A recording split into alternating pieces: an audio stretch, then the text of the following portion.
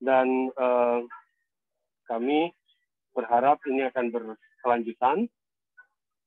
Kita ikuti terus karena setiap waktu akan berubah dan memang sengaja judulnya pun kami uh, seawam kesehatan mungkin gitu ya, tidak terlalu saintifik begitu, tapi mudah-mudahan bisa dimanfaatkan, dicerna dengan baik.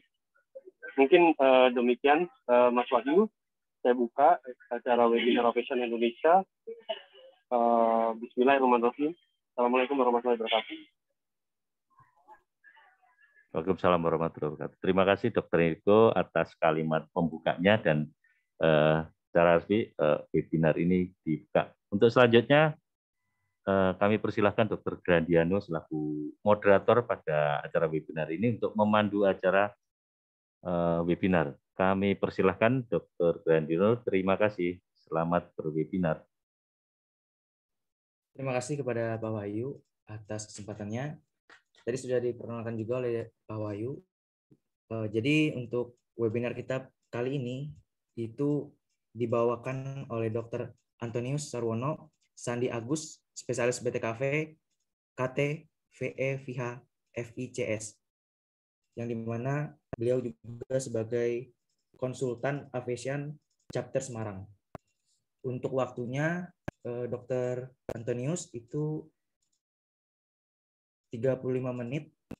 Bisa dipersilahkan Dr. Antonius untuk eh, memberikan materi.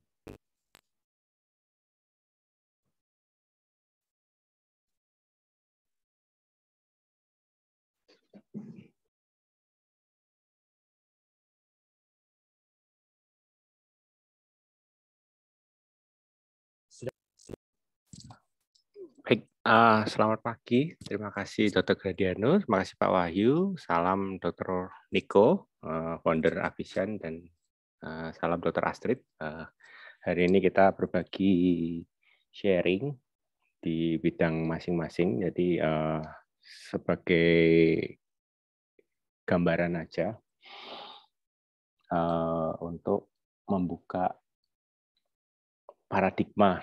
Jadi apa yang terjadi dan akan terjadi pada uh, kalau bisa kita hindari agar tidak sampai terjadi pada pasien-pasien uh, aviation uh, yang ada uh, pada yang tergabung pada aviation Indonesia. Baik, saya Anton. Uh, di bagian bedah TKV, torakardiak dan vaskuler untuk uh, tata laksana vaskuler di bagian akses hemodialisa dengan tema yang aviation jendol. Oke, saya mulai.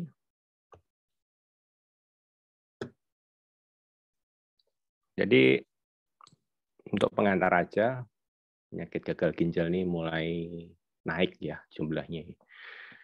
Jadi mungkin lebih dijelaskan oleh Dr. Astrid ada stage 1 sampai stage 5 dan beberapa sudah uh, sampai ke stage yang akhir di mana ginjal tidak bisa untuk regenerasi lagi dan memang memerlukan untuk terapi pengganti ginjal, terapi pengganti ginjal baik seperti cuci darah, cuci darah itu yang menggantikan fungsi ginjal tapi tidak akan menyembuhkan ginjal, hanya membantu ginjal aja menjalankan fungsinya.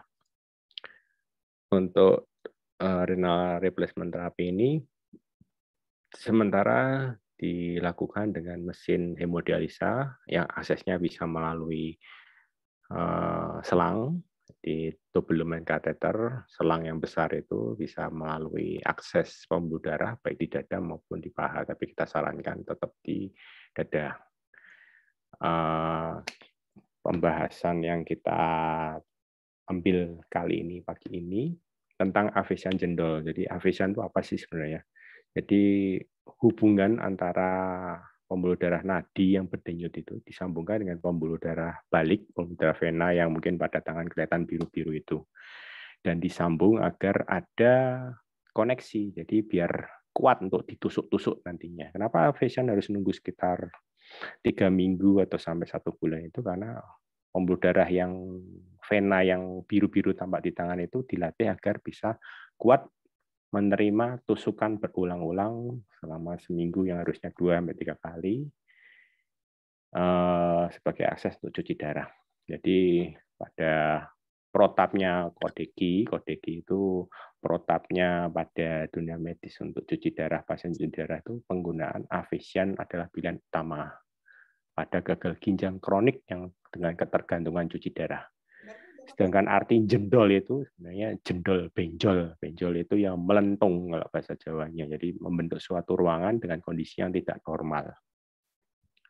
Seperti ini mungkin contohnya avesiannya. Jadi dua jarum dimasukkan, satu untuk jarum untuk masuk ke mesin. Jadi darah yang diserap masuk ke mesin itu nanti dicuci, diproses, lalu setelah diproses masuk kembali ke vena tempat dibuat avesian itu untuk diedarkan seluruh tubuh. Jadi fungsinya sebagai ginjal tapi letaknya di luar. Dengan tekanan tertentu dipertahankan sekitar seminggu dua kali untuk cuci darah. Jadi sebenarnya koneksi ini sebenarnya suatu kondisi yang tidak normal tapi dibuat normal agar membantu pasien bisa cuci darah pembuluh darah di tubuh manusia itu kalau saya bilang seperti peralon ya, jadi seperti selang-selang di dalam pembuluh darah jantung sendiri itu seperti pompa sanyo atau simisunya itu ya. Pompanya itu yang mengalirkan ke seluruh tubuh melalui peralon-peralonnya itu. Pembuluh darahnya yang kita pulihkan untuk afisian yang kita pilihkan pada lengan. Lengan yang kita pilihkan lebih ke arah karena Indonesia itu banyak kan tidak ada yang kidal jadi kita pilihkan sisi yang kiri yang tidak aktif karena kalau avesan di sisi yang aktif, biasanya takutnya itu kelupaan ngangkat LPG atau ngangkat galon atau mungkin lupa gendong cucu itu, gendong anak jadi sepertinya akan terhimpit jadi terjadi gangguan pada avesan. Proses avesan itu dengan tusukan yang berulang namanya juga tusukan itu perlukaan ya. Perlukaan yang berulang-ulang itu akan menimbulkan hmm, berbagai macam permasalahan jika tidak diatasi secara dini. Uh, Avesian itu kita nyambungkan antara dua pembuluh darah yang berbeda sifatnya. Jadi satu yang berdenyut keras, kencang, ada yang satu pembuluh darah yang tipis, lembut. Dua sifat ini kita gabungkan, jadi membentuk suatu draining vein. Draining vein itu kita sebut pembuluh darah yang uh, siap untuk menghadapi tusukan. Getarannya seperti ini. Jadi aliran yang sudah siap untuk ditusuk, gambarannya seperti itu. Mungkin kalau setelah setelah dilakukan uh, pemasangan avesian, nanti kita evaluasi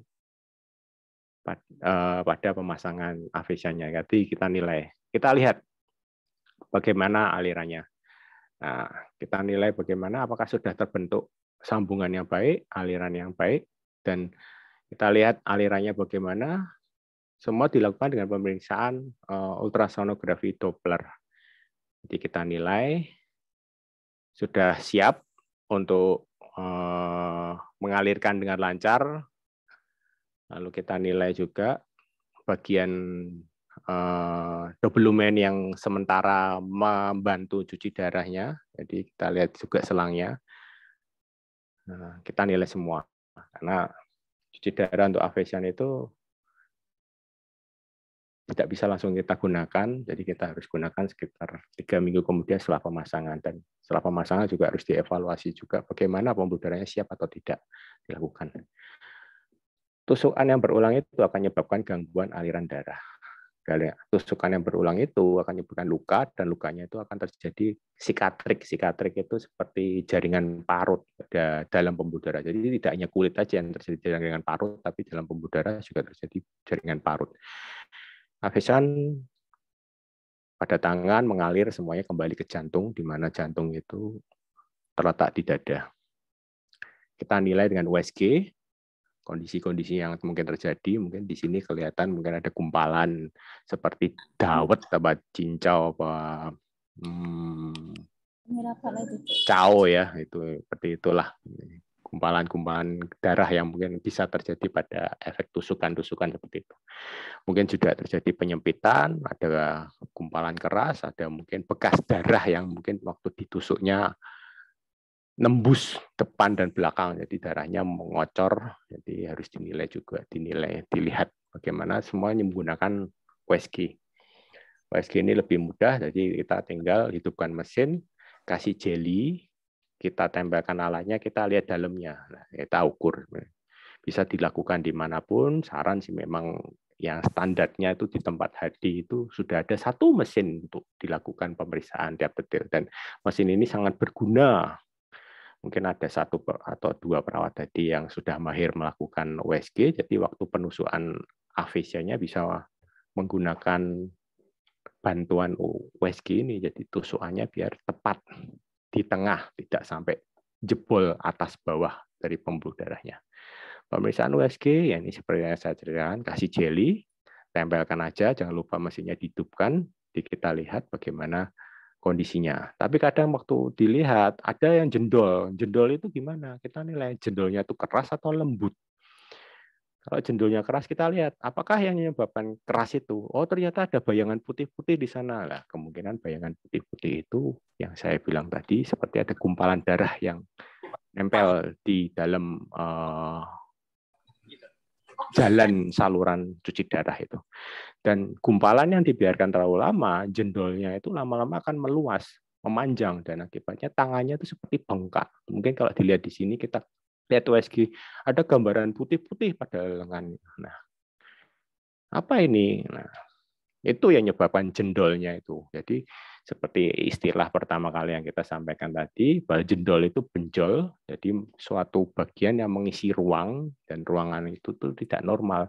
Dan biasanya jendolnya itu apa? Rata-rata ya karena kalau di sini bahasa Inggrisnya blood clot, jadi mungkin gumpalan darah. Gumpalan darah pasti terjadi. Dan tinggal bagaimana kita meminimalkan. Makanya waktu cuci darah rata-rata kita gunakan heparin. Heparin itu tujuannya untuk mencegah terjadinya gumpalan. Tapi jika terjadi, bagaimana kita mengantisipasinya. Seperti ini gambarannya, jadi alirannya nanti seperti ada serat-serat kecil trombosit itu yang memacu terjadinya sumbatan pada afesian. Tempat yang ditusuk sama berulang kali akan menimbulkan jendolan juga.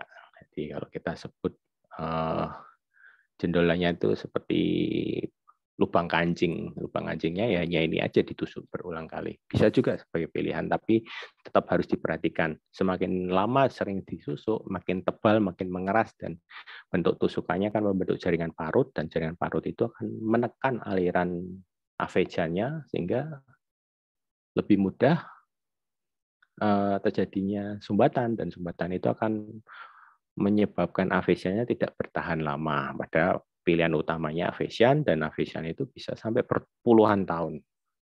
Pasien saya paling lama itu 13 tahun masih menggunakan Avesian. Memang dari lengan kirinya bentuknya titik-titik-titik besar banget, banyak banget itu ya, dari berkas tusukan yang panjang.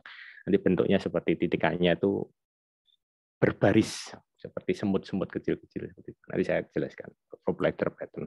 Benjolan seperti ini bisa terjadi infeksi, bisa terjadi hitam-hitam. Hitam-hitam itu karena ada bekas cuci, selesai kita cabut jarumnya dan darahnya masih ngocor, tersisa, dan darahnya itu mengisi ke bawah kulit dan bawah kulit itu darah itu kalau udah kering itu menghitam seperti ini nanti hitam-hitam di bawah kulit itu bentuknya seperti ini. Tetapi tetap kita perhatikan, memang kita sarankan untuk pemeriksaan evaluasi 3 sampai 6 bulan harus datang ke poli eh, poli kita bedah untuk dinilai bagaimana eh, kualitas ke depannya. Jadi tetap cuci, tapi selama 3 sampai 6 bulan sekali kita lakukan pemeriksaan bagaimana pembuluh darahnya masih kuat, masih afdol untuk menghadapi tusukan berikut-berikutnya.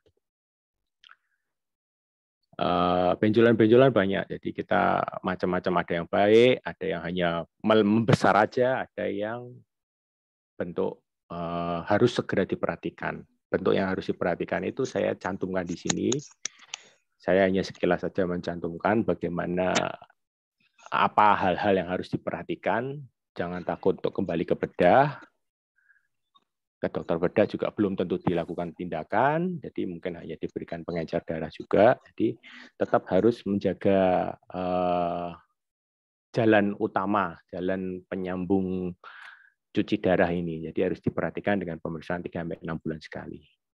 Jendol itu macam-macam bentuknya. Jadi mungkin ada gumpalan-gumpalan seperti ini yang bisa dilihat. Jadi ini saya kasih live jadi ini koleksi pribadi. Jadi bisa dilihat problem seperti apa. Jadi seperti keras. Apa yang ada di dalam? Biasanya gumpalan darah. Ini gumpalan darah kita lihat bentuknya seperti ini. Jadi tidak ada aliran dan warnanya lebih putih pada salurannya dan setelah kita ambil warnanya hitam seperti ini.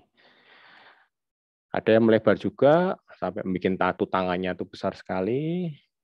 Kita lakukan pengambilan gumpalan sehingga untung gumpalan masih eh, lembut, masih encer, jadi kita bisa segera Eh, pertahankan. Jadi mas uh, afesianya masih bisa kita pertahankan.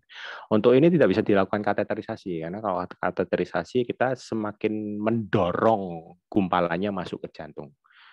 Pembuluh darah di seluruh tubuh, di tangan, di kaki, semuanya tetap kembali ke jantung. Jadi kalau ada gumpalan di sana ya harus dikeluarkan. Hmm, sama seperti kalau di hidung kita ada kotoran upil bagaimana tidak akan kita sedot masuk ke dalam. Ya memang mungkin di telan mungkin kalau sudah tidak bisa dikorek-korek dikeluarkan ya ditelan ya. Tapi kalau bisa dikeluarkan dikeluarkan aja karena risikonya lebih besar nantinya. Bentuk yang mungkin tadi pemeriksaan lebih detail jadi di tangannya itu melebar-lebar seperti ini. Jadi ya harus dilakukan pertolongan awal seawal sedini mungkin agar tidak terjadi uh, benang ruwet seperti ini di kelihatannya dari luar benjol gini tapi kalau sudah kita keluarkan ya isinya seperti dawet hitam ya. Apalagi kalau musim sekarang ini banyak uh, sudah lewat dua tahun COVID, pasti beberapa ada yang pernah kena COVID, jadi ya, darah mudah membeku dengan kondisi tubuh uh, seperti ini. Mungkin gambarnya seperti ini. Jadi di dalam ruangan hitam ini ada putih-putih yang seperti kental-kental ya kentalnya ini yang kalau kita keluarkan ya harus kita keluarkan karena kalau enggak masuk ke jantung menyumbat lumpurnya ini yang akan meracuni uh, kondisi jantung akan memperberat problem berikutnya lagi. Uh, ini prosesnya nanti pada uh, anak-anak kedokteran ya kalau pada anak kuliah saya ngajar perkuliahan juga. Jadi untuk sekitar gambaran sekilas saja ya bentuknya seperti ini, gumpalan-gumpalannya yang bikin jendolnya itu tetap harus kita evaluasi. Ini yang kita tanyakan memang yang sudah kasep, sudah uh, terlanjur. Jadi kalau bisa lebih awal dilakukan evaluasi lebih awal ya lebih baik, mencegah lebih baik daripada mengobati. Mengobati dalam arti kita tidak akan uh, melakukan tindakan yang terlalu advance kalau masih bisa dipertahankan. Ada juga bekas tusukan jarum, jarum itu kan juga mungkin ada teman-teman nafesian di sini paham ya jarum hadinya tuh segede ya kalau orang bilang segede gaban, gede banget ya bekas tusukannya karena tekanan darah yang tinggi ya kan juga menjebol bekas tusukannya itu. Jadi seperti lebih lebar jadi seperti ada leher di ini. Jadi lubangnya itu tidak bisa menutup. Kenapa tidak bisa menutup? Pasien hati rata-rata tekanan darahnya tinggi. Semburannya kencang banget. Jadi sulit untuk menyembuh. Tapi bukan solusinya bukan dibebat kencang kalau dibebat kencang ya akhirnya afesianya berhenti. Jadi ada trik-trik clue-clue nanti perawat uh, Indonesia akan sering mengajak eh, teman-teman uh, perawat hemodialisa untuk memberi edukasi pasien. Seperti ini bisa sampai jebol juga. Uh, mungkin ya ini serem ya, jadi sekilas saja, jadi nggak terlalu kita bahas. Hipertensi musuh utamanya memang nanti dari dokter Astrid akan memberikan bagaimana berat kering dan untuk tata laksana hipertensi. Karena tekanan tinggi dari arteri pembuluh darah nadi itu akhirnya seperti mendorong ya. hati-hati dengan uh, sundulan-sundulan hipertensi ini banyak kasus tentang benjolan seperti ini uh, ya saran memang harus dilakukan uh, pemeriksaan lebih awal seawal mungkin mungkin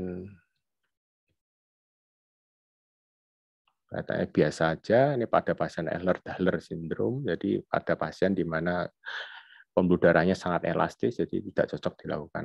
Fistula pembuluh darahnya itu melebar. Jadi bekas tusukannya itu bikin gumpal uh, bikin jaringan parut penyembuhan tapi gumpalannya makin lama makin mau lebar. Jadi akibatnya ya di dalamnya seperti ada uh, ruangan lagi jendolnya itu ruangan ini besar-besar seperti ini besar-besar ini yang nanti uh, harus dikeluarkan.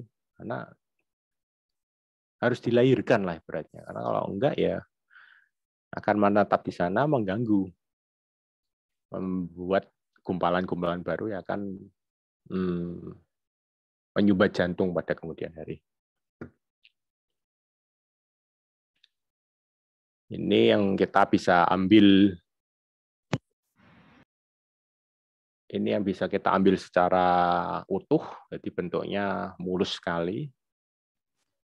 Di waktu kita ambil gumpalannya bisa kita ambil total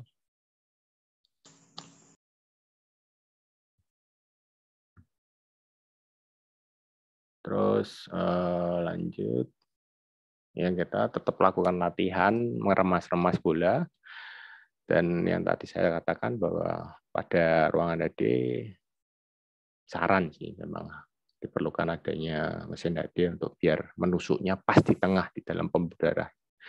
Jadi tidak terlalu menembus sampai ke bawah, jadi menembus atas bawah, mencegah terjadinya komplikasi-komplikasi yang ada.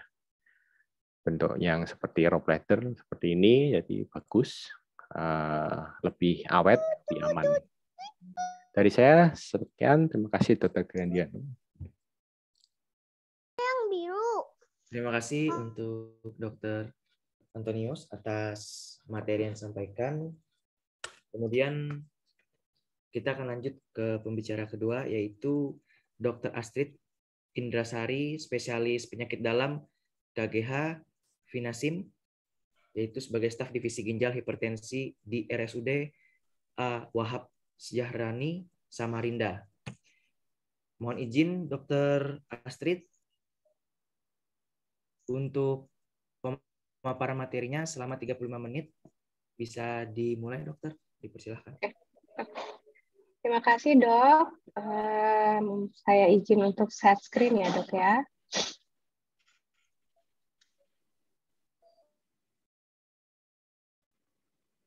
Sudah terlihat, dok? Sudah terlihat, dokter.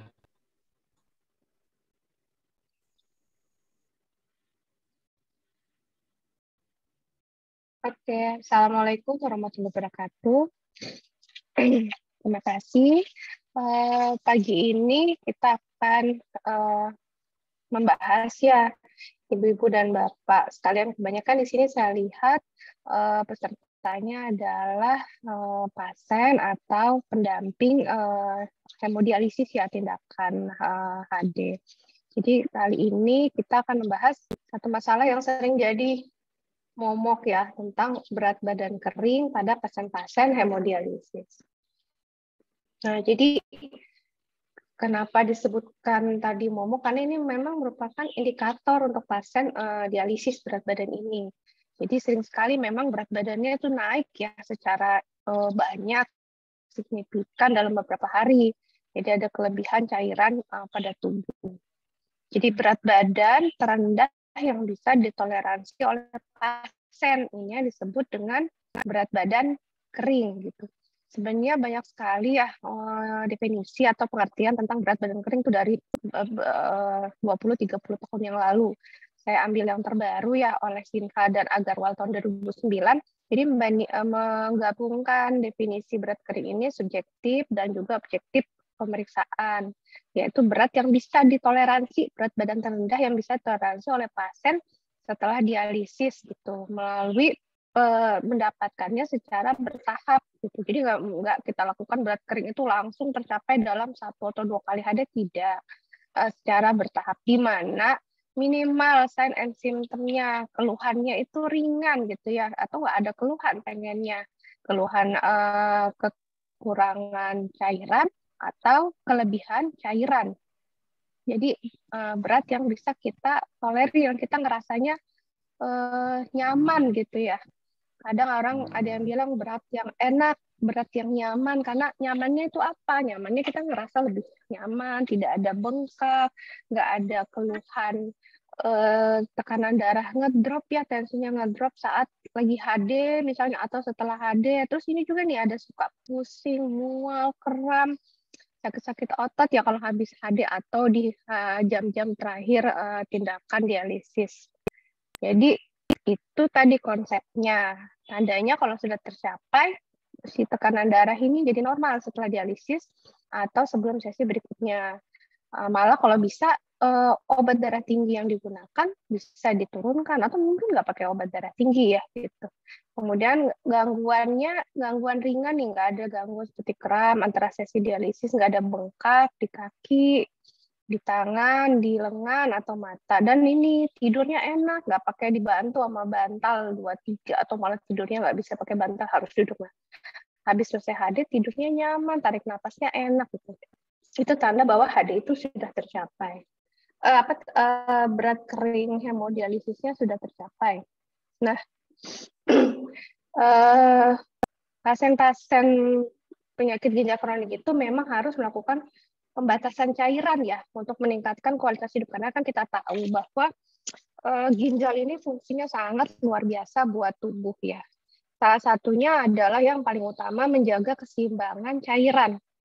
Jadi kalau misalnya kita kelebihan cairan, minumnya banyak, ginjal akan mengeluarkan uh, kencing atau urin, air seni dalam jumlah yang lebih banyak.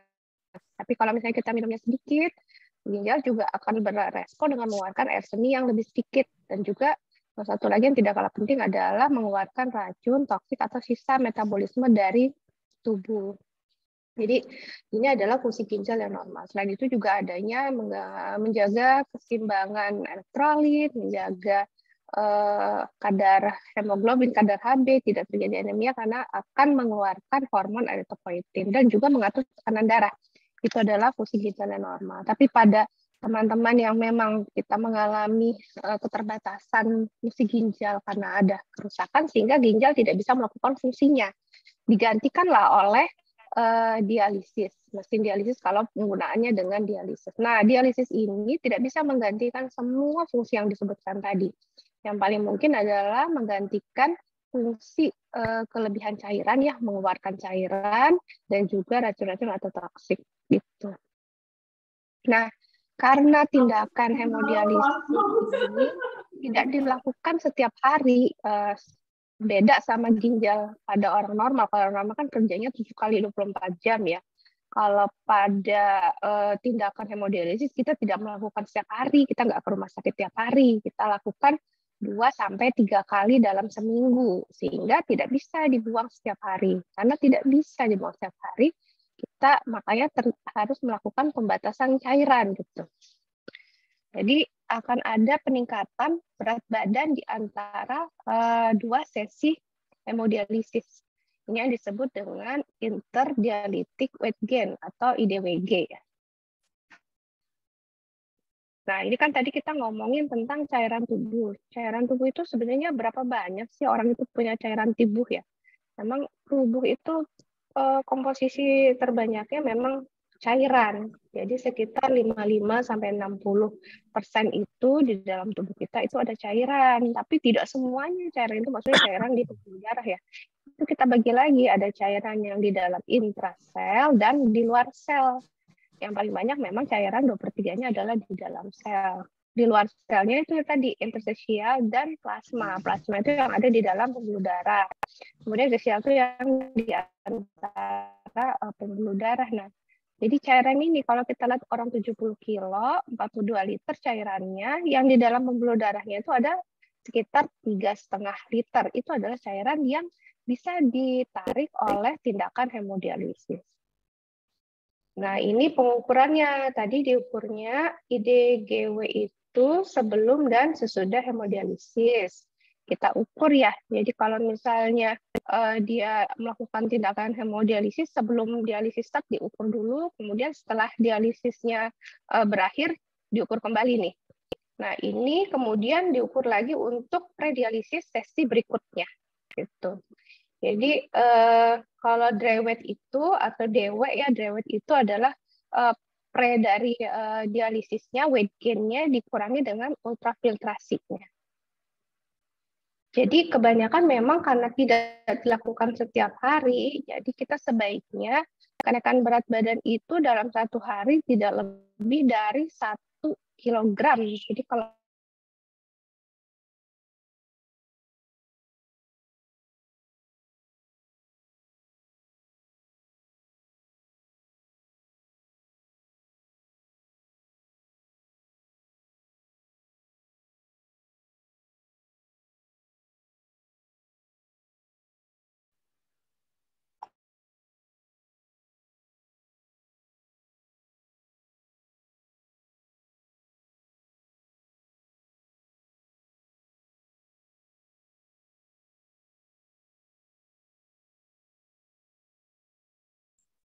uh, mohon izin peserta hadirin mungkin uh, bisa ditunggu sebentar. Dokter Astridnya sedang terkendala jaringan.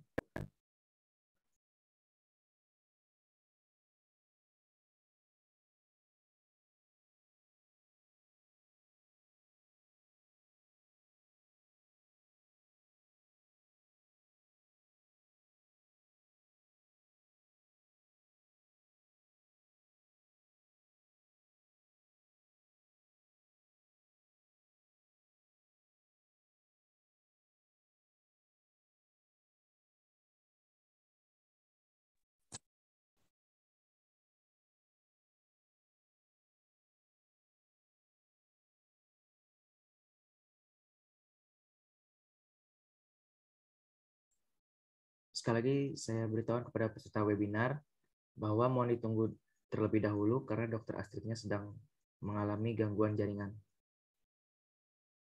Terima kasih.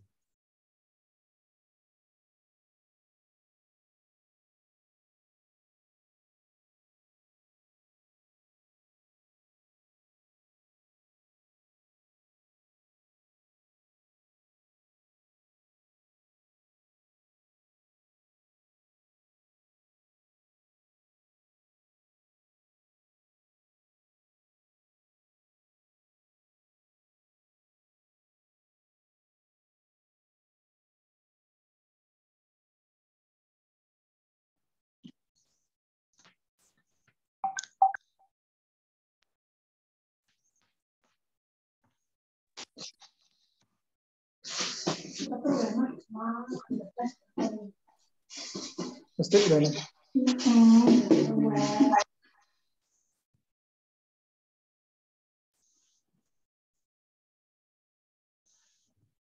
Oke, sambil, sambil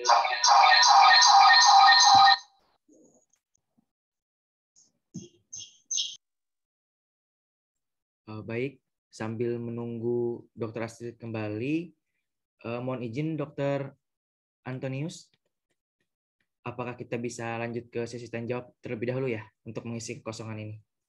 Uh, baik, terima kasih Dokter Antonius atas kesediaannya. Ya. Uh, jadi untuk para peserta webinar, mungkin sambil menunggu Dokter Astrid, kita beri dua pertanyaan dulu ya, dua pertanyaan dulu untuk peserta webinar yang ada di sini silahkan satu pertanyaannya bisa raise hand terlebih dahulu yang ingin bertanya secara langsung. Ya, ada Wulandari Saryono. Dipersilahkan untuk open mic. Untuk Oke, terima kasih Pak. Eh, langsung ke pertanyaannya ya Pak ya. Eh, Mungkin saya terlambat bergabung juga, tapi uh, saya mohon arahannya. Jadi suami saya kebetulan pasien cuci darah. Nah, tanggal 16 kemarin, tanggal 16 Mei, akses siminonya mati, tidak berfungsi lagi, desirannya sudah tidak ada. Yang mau saya tanyakan, kenapa akses simino yang sudah tidak berfungsi lagi ini sampai hari ini masih terasa sakit, disentuh saja masih terasa sakit. Jadi eh, suami saya ini masih konsumsi obat nyeri biar menghilangkan rasa sakitnya seperti itu. Hmm, itu bagaimana solusinya? Ataukah memang seperti itu si Mino yang sudah tidak berdesir lagi itu apakah memang sakit atau bagaimana? Ini normal atau tidak begitu, Pak? Terima kasih, Pak.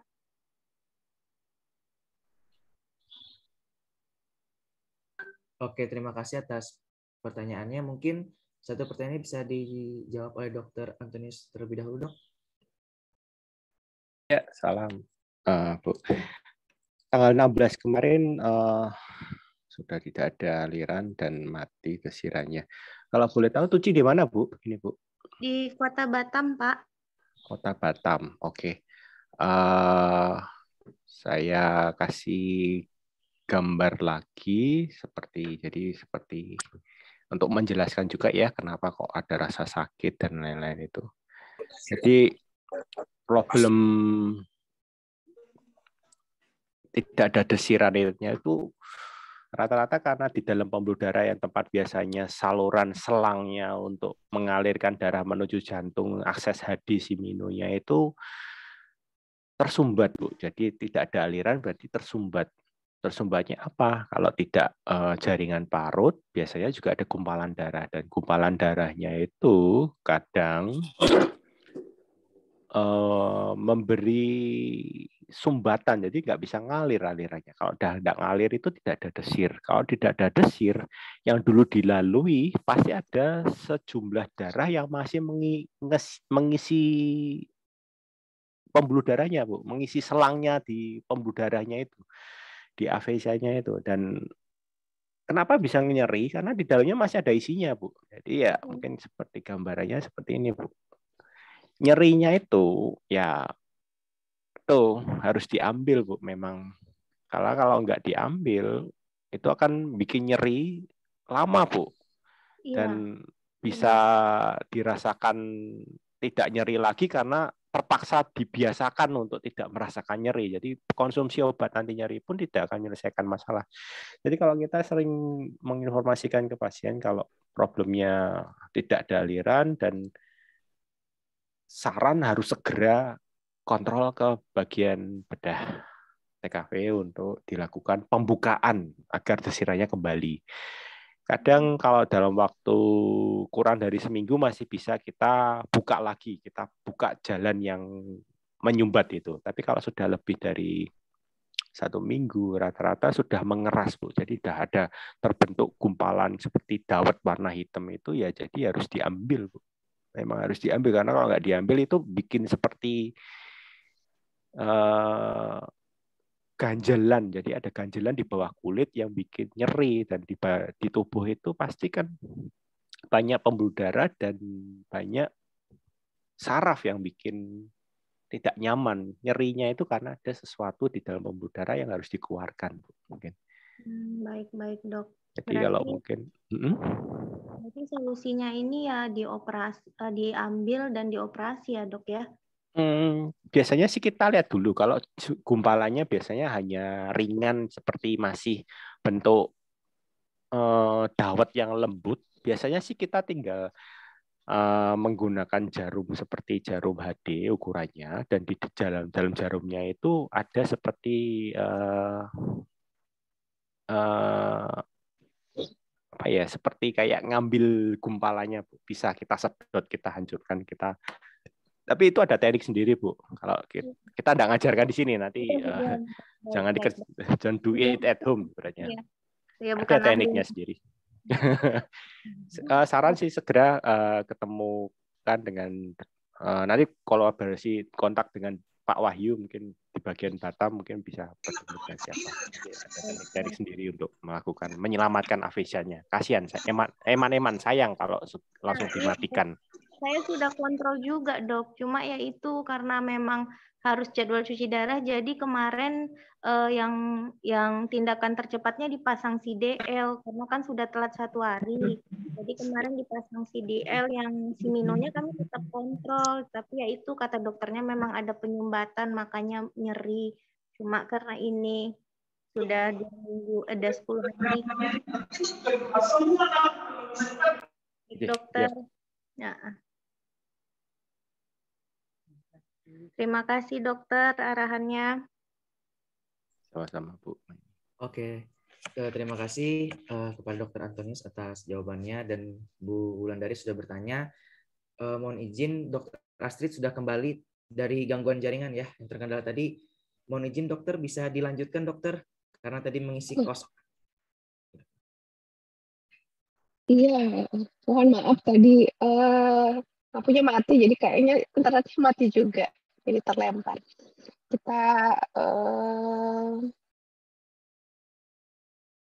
kita lanjutkan ya. Baik dokter.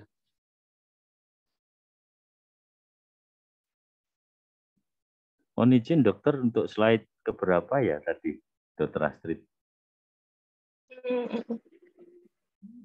Kayaknya saya nggak bisa share apa share lagi ya, udah bukan host.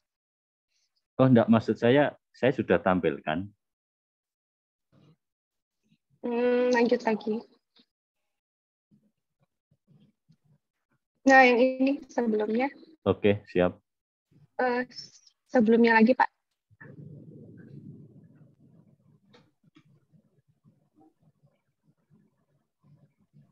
Sebelumnya lagi. Ya.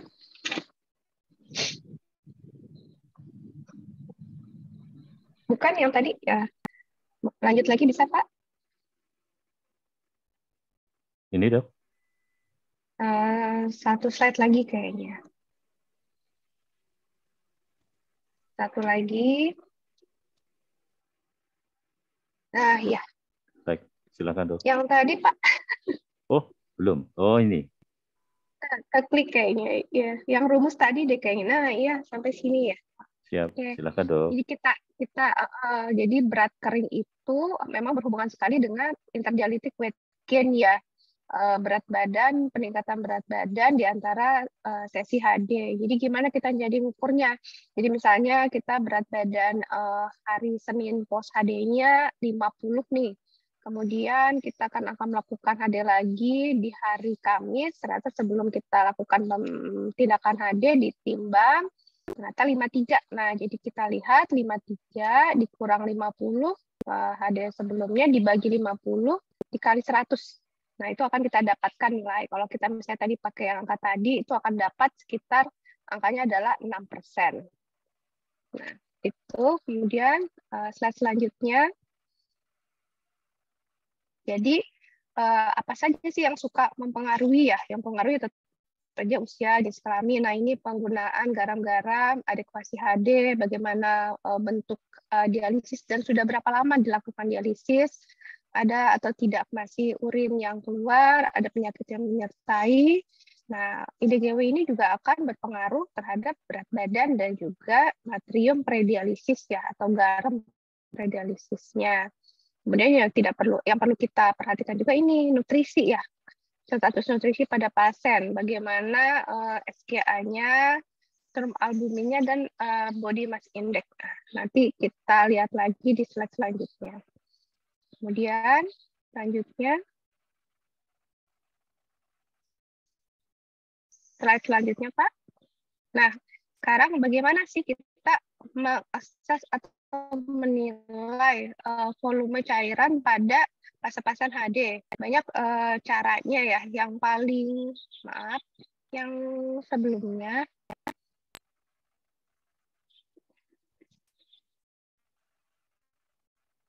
yang paling uh, yang paling uh, mudah dan cepat adalah dengan cara klinis ya. Kita lihat ada nggak kelebihan cairan.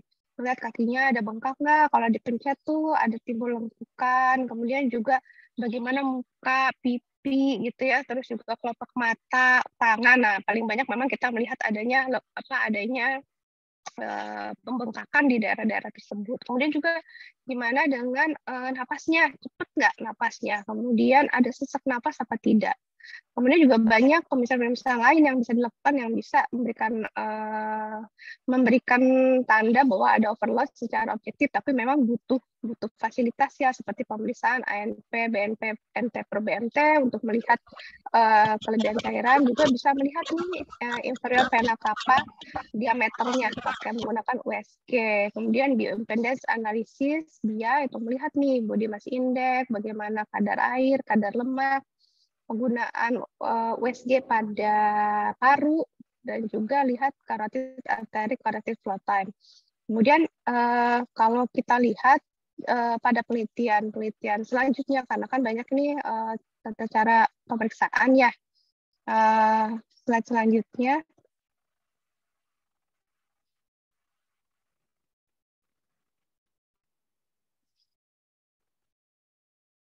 Nah, ini ada penelitian juga yang dilakukan untuk menilai volume status before dan after. Dilihat pakai bioevidence atau pakai uh, skor uh, B-line score, lihat garis B-nya melalui USG, didapatkan memang ini dia lebih lebih akurat ya pemeriksaan ini untuk menilai uh, adanya overhidrasi atau underhidrasi uh, dibandingkan dengan uh, diameter dari uh, IPC tapi tetap memang yang paling uh, yang yang sering terdapat di unit-unit tadi kita ya memang yang sering kita lihat dengan cepat ya memang pemisahan secara visual ya gitu. Di tempat lain juga seharusnya mungkin kayak uh, BIA itu kita bisa uh, adakan di unit-unit HD karena memang bisa memberikan hasil yang lebih objektif. Tapi kalau misalnya kayak uh, pemisahan USG paru mungkin kita butuh waktu ya, butuh uh, butuh rujuk juga untuk ke dokter uh, radiologi. Kemudian selanjutnya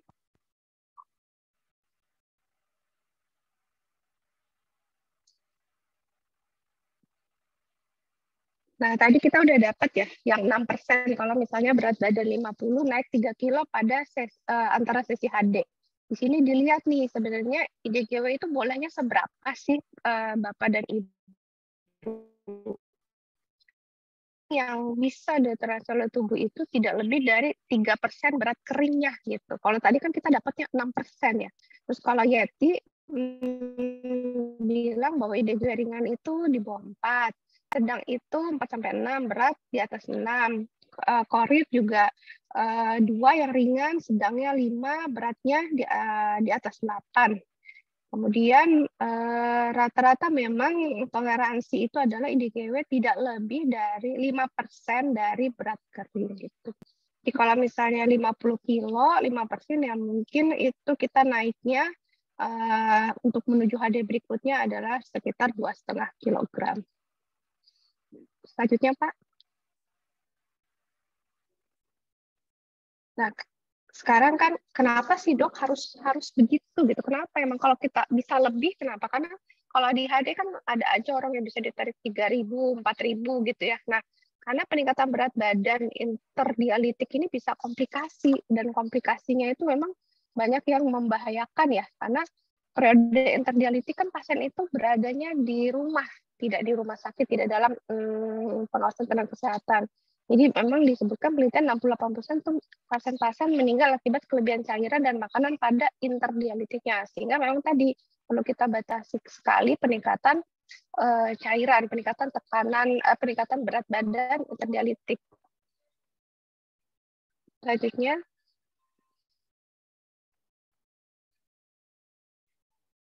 ya tadi ya gimana lihatnya ya itu kebalikan dari tadi berat badan kering kalau udah kecapai kalau misalnya dia kelebihan bisa tekanan darah meningkat, nadi meningkat, ada batuk, ada kalau dilakukan pemeriksaan oleh dokter terdengar ada suara napas tambahan, ini juga e, menyebabkan tadi hipertensi yang awalnya ada semakin berat, sudah dapat obat, ditambahin obatnya sama dokter, tapi tetap tekanan darahnya tidak bisa dikendalikan.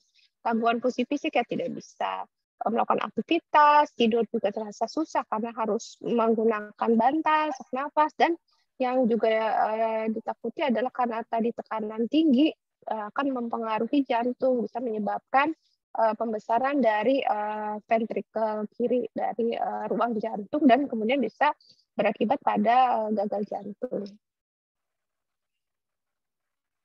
Selanjutnya,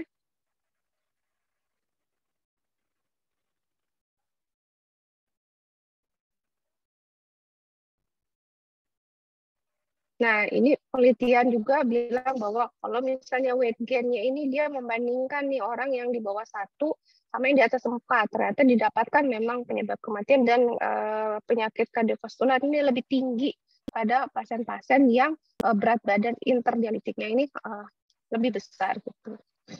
Kemudian selanjutnya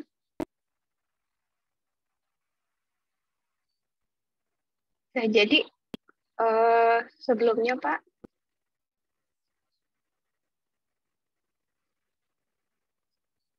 jadi kalau misalnya ini kalau kita banyak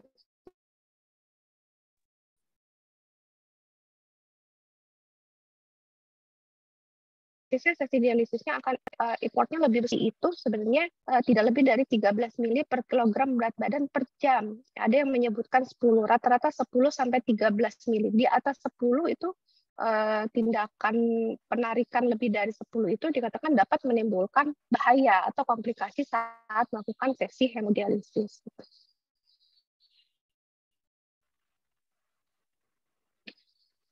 Nah, ini ini yang berhubungan dengan ultrafiltrasi kan suka nih dengerin UF-nya. Kalau orang-orang suka bilang ditariknya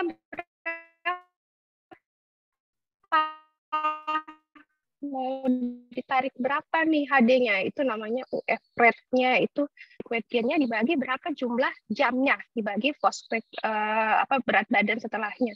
Jadi ya ini uh, misalnya kita tadi berapa? DGW-nya uh, naiknya 3000 nih dibagi 4 jam. Jadi sekitar uh, kita dalam satu jam itu sekitar 750 uh, 300 750 cc per jam. Kalau bagi-bagi 60 itu kemungkinan ya lebih dari 10 uh, mili per jam ya. Jadi satu uh, lebih besar nih weight gain-nya. Jadi kalau misalnya kalau kita lihat di monitor HD itu ada UF rate. Nah, baiknya sih UF-nya tidak lebih dari satu. Selanjutnya,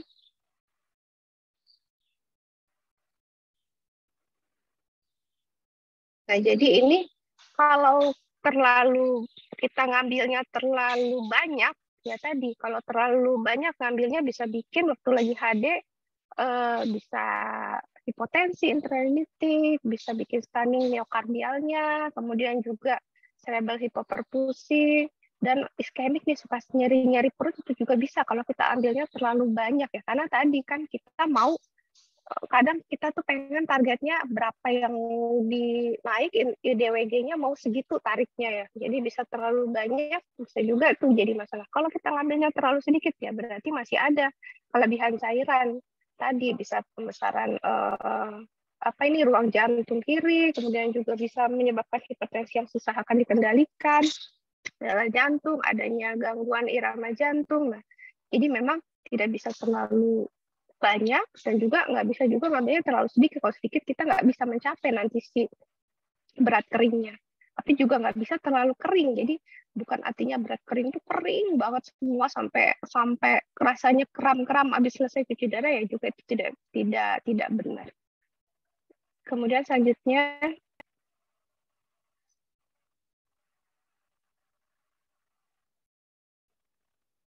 ya itu jadi kalau misalnya uh, dry wet ini bisa dilakukan secara efektif, ini akan bagus nih karena akan menurunkan tekanan darah. Kalau tekanan darah turun, ya tadi dia bisa menurunkan penggunaan obat anti hipertensi, menurunkan kemungkinan uh, pembesaran dari ventricle uh, kirinya.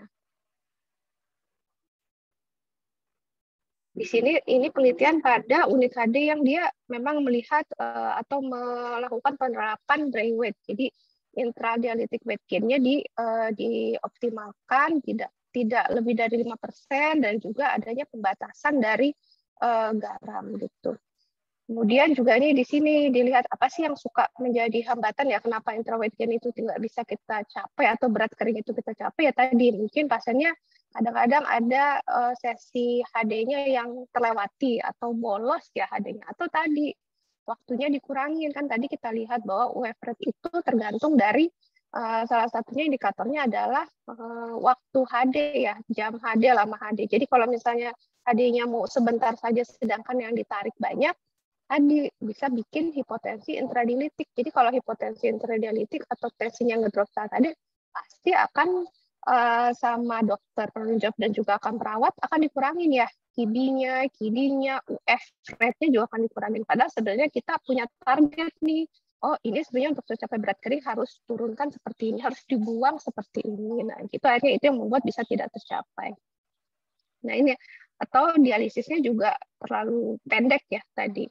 Tuh. Jadi kita susah mau mencapai si berat kering.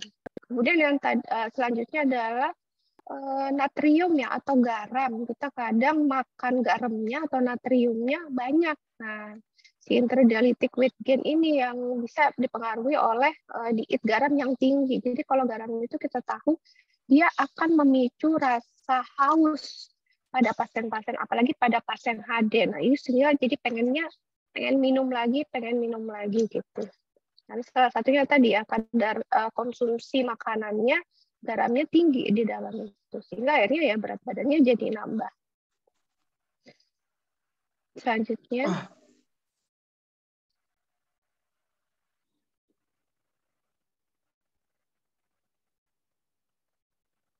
Ya, atau ini yang uh, dialisat di uh, dialisatnya yang tinggi uh, natrium ya gitu. Itu bisa juga tuh di dialisat itu. Jadi tapi memang agak susah. Kita gunakan dialisat tinggi natrium itu atau profiling natrium itu pada pasien-pasien yang cenderung seringnya kalau saat HD itu hipotensi. Nah, jadi sering dinaikkan natriumnya supaya bisa menjaga tensinya. Tapi memang uh, efek sampingnya akan membuat pasien menjadi haus. Kalau haus jadi pengen minum itu. Akhirnya itulah yang membuat uh, jadi uh, berat badan kering susah tercapai. Jadi seperti uh, apa ini ya lingkaran setan itu. Uh, karena dia akan berhubungan kalau misalnya berat keringat tidak tercapai, kemudian pada HD berikutnya nambah lagi, sedangkan sebelumnya masih ada, ya itu akan membuat kerja atau beban sesi HD berikutnya menjadi lebih berat. Gitu. Selanjutnya.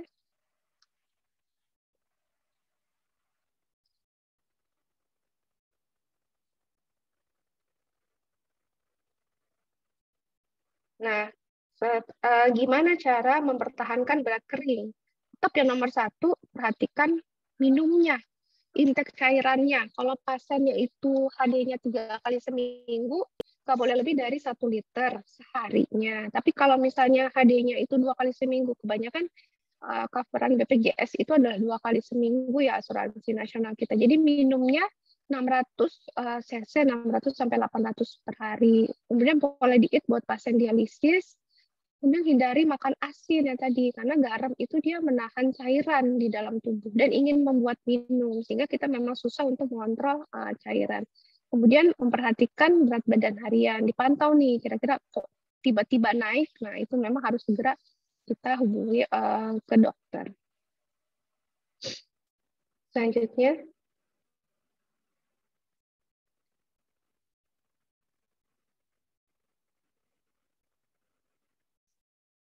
Nah, ini ada beberapa cara nih yang untuk mengontrol rasa haus ya.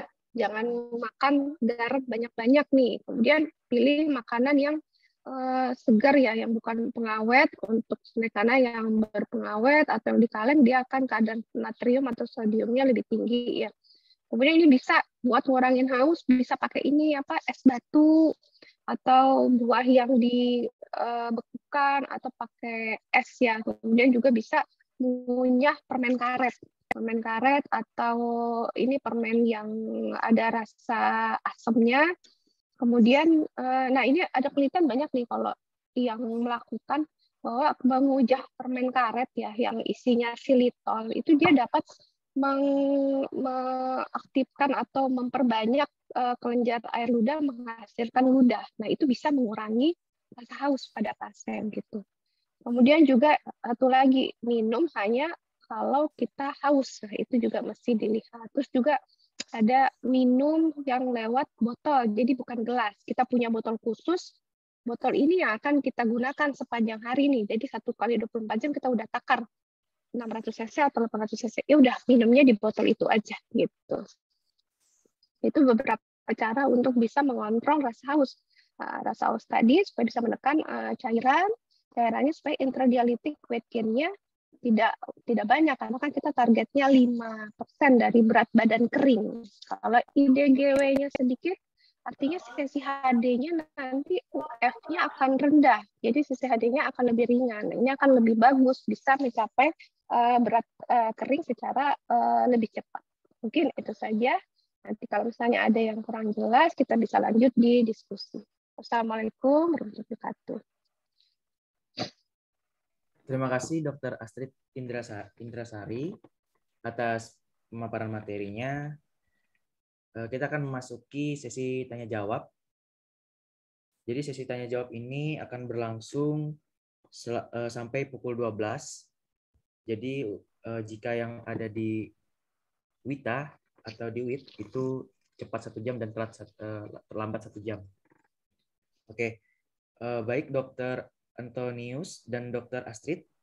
Tadi pertanyaan pertama sudah diberikan ya kepada Dokter Antonius. Mohon izin Dokter Astrid, saya bacakan ada beberapa pertanyaan di kolom chat Zoom dari dari ini dokter, dari Widya. Untuk pertanyaannya seperti ini dokter. Apakah berat kering itu bisa naik? Eh, naik 2,5 kg, kemudian ditarik menjadi 2,75, tapi turunnya cuma 1,5. Selama HD, hemodialisis hanya makan nasi dan minum setengah gelas. Eh, mungkin itu, Dokter Astrid. Ya, Terima kasih. Jadi tadi uh, kita terima kasih Mbak Widya pertanyaannya. Jadi sering memang ditanyakan misalnya ini naiknya dua setengah, HD-nya 027 tapi atau tiga, tapi kok hasil uh, dari ininya ya hasil turunnya kan satu setengah tadi karena kan kita lihat bahwa kalau komposisi tubuh itu cairan memang paling banyaknya seinter apa ekstraseluler ya, yang vaskulernya itu atau intravaskulernya plasmanya kan cuma sedikit sekali ya yang ditarik. Jadi dari dua setengah kilo itu belum tentu itu isinya semuanya adalah kenaikan dari e, cairan. Bisa juga memang berat badannya bertambah ya, komposisi lemaknya juga bertambah gitu. Jadi e, masih mungkin saja e, bisa naik, makanya dinamis sekali berat kering itu uh, awal HD mungkin kita uh, di, uh, lakukan kita target ternyata berat keringnya misalnya 50. Pada perjalanannya pasien berat ma makannya udah baik, sudah mulai nafsu makan, gak ada mual muntah. Nah, kita lihat juga dari lingkar lengannya mulai membaik pasiennya. Kemudian juga nutrisi fisik bisa saja dia naiknya berat badannya memang naik berat badannya ya, berat keringnya naik gitu bukan misalnya naiknya murni karena cairan gitu, tapi memang ada lemaknya atau ototnya yang bertambah.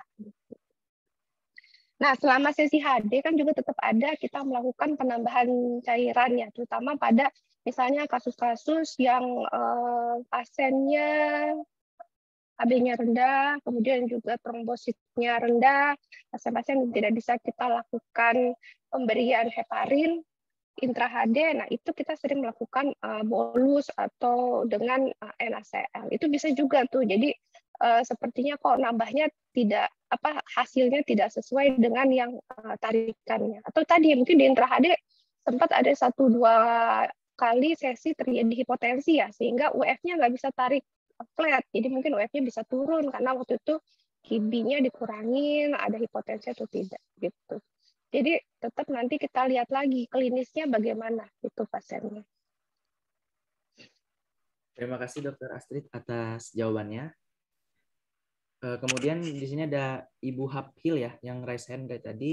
Bisa dipersilakan untuk pertanyaannya mau bertanya kepada dokter siapa Bu Hapil?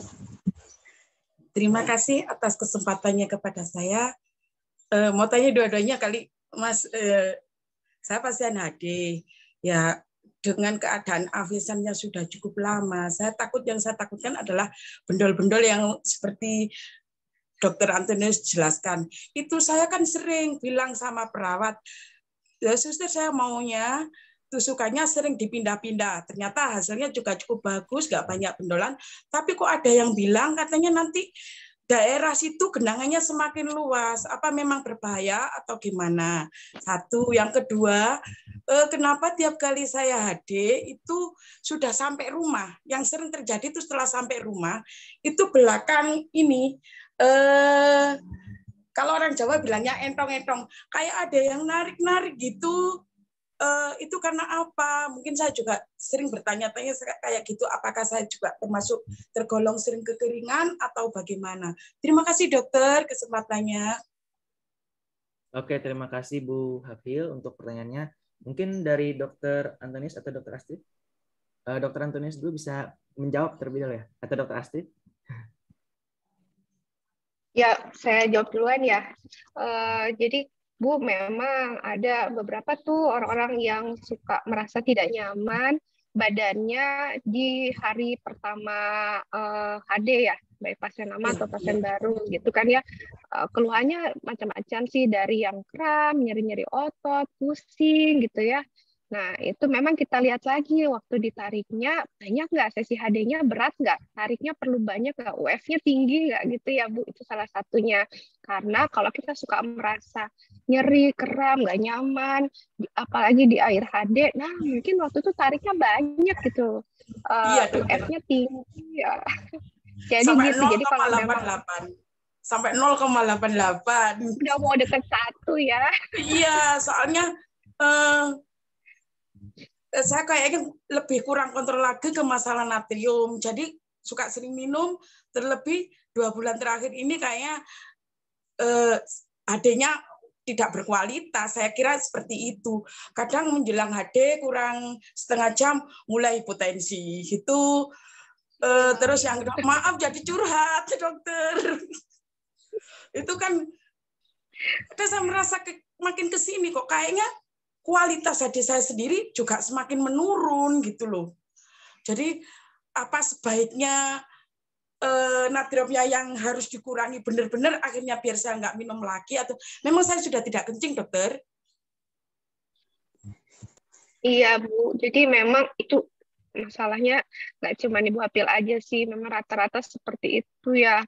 Jadi orang Indonesia mungkin ya, dia memang uh, ambang rasa asin itu memang kita lebih tinggi ya orang Asia itu lebih tinggi dibanding orang apa. Jadi kadang kita ngerasa nggak asin gitu atau asinnya biasa aja padahal orang lain sudah ngerasa ini asin banget gitu ya. Nah, iya. jadi memang itu yang harus kita batasi. Natrium itu benar-benar jadi iya, garam tuh benar-benar hmm, benar-benar sekali Bu sama ya cairan.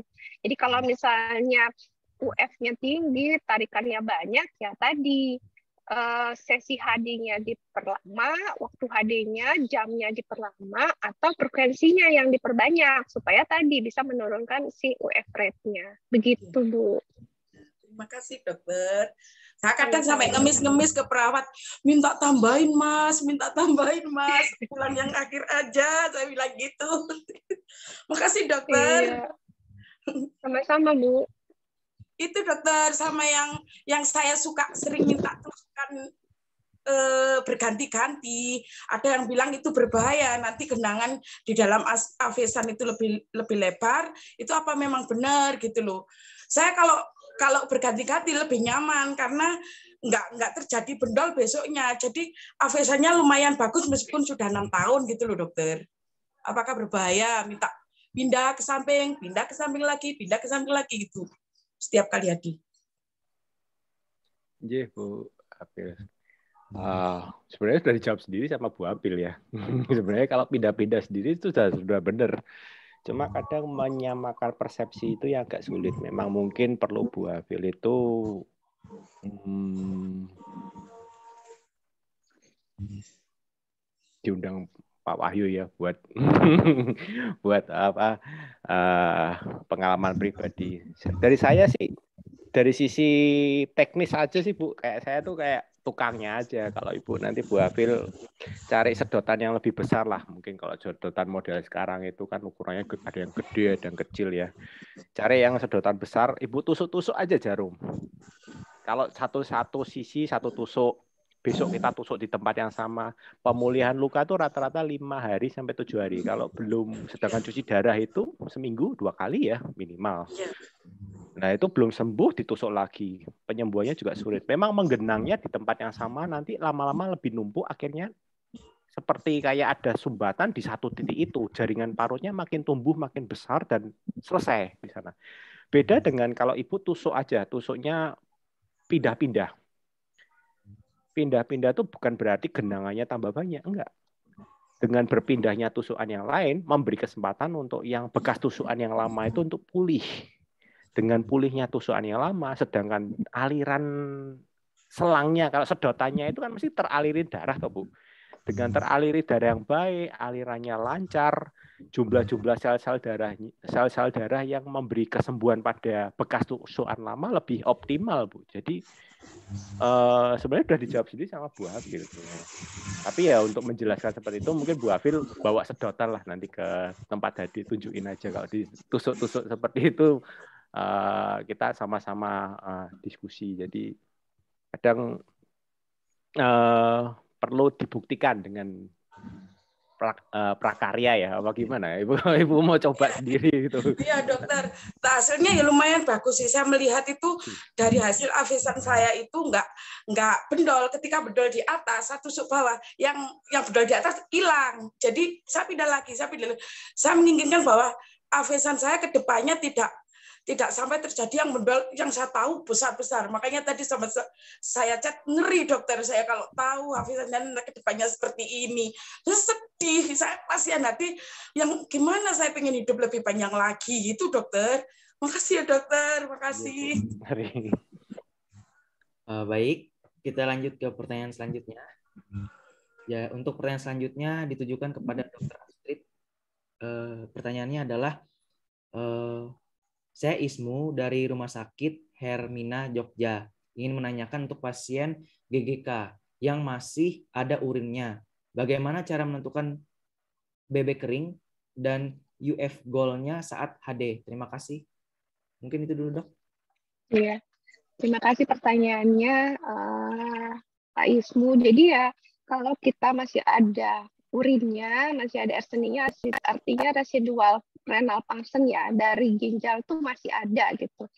Nah, itu bagus memang. Jadi nanti sebenarnya dia akan secara otomatis nih, karena kan tadi ginjal itu kan fungsinya buat mengatasi kelebihan cairan ya. Jadi kalau misalnya air seninya masih ada, urinnya masih keluar, ya mungkin berat badannya walaupun misalnya dia minum satu liter atau satu liter nih sehari, nggak naiknya nggak satu liter, nggak satu kilo, mungkin naiknya 600 atau 700 karena 300-nya udah dibuang sama air seninya. Jadi tetap perhitungan berat badan keringnya sama seperti yang uh, tadi. Jadi berapa berat badan uh, hari ini waktu HD terus dilihat lagi berat badan waktu sebelum HD uh, HD berikut HD sebelumnya gitu.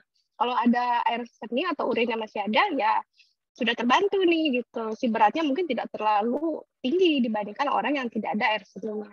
Average-nya tetap sama juga seperti itu kita melihat berapa uh, naiknya IDGW-nya berapa. Nah itu akan menentukan uh, UF rate-nya tergantung uh, ini apa uh, lama HD-nya ngikutin sama seperti yang tadi.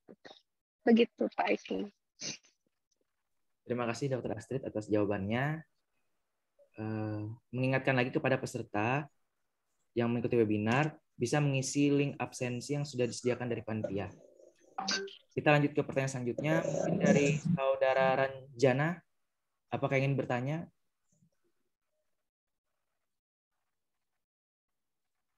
Saudara Ranjana? Ya, mungkin uh, resen saja ya, terpencet ya. Uh, kita lanjut ke pertanyaan selanjutnya. Ini ditujukan kepada Dokter Antonius. Uh, izin, izin Dokter Antonius membacakan pertanyaan dari Fauziah Ferry. Uh, katanya, dokter, ibu saya kan hemodialisis juga. Beliau belum pasang selang, jadi kalau mau HD selalu disuntik di tangan sama kaki. Sebaiknya pasang selang atau yang vena sama arteri dijadiin satu ya dok.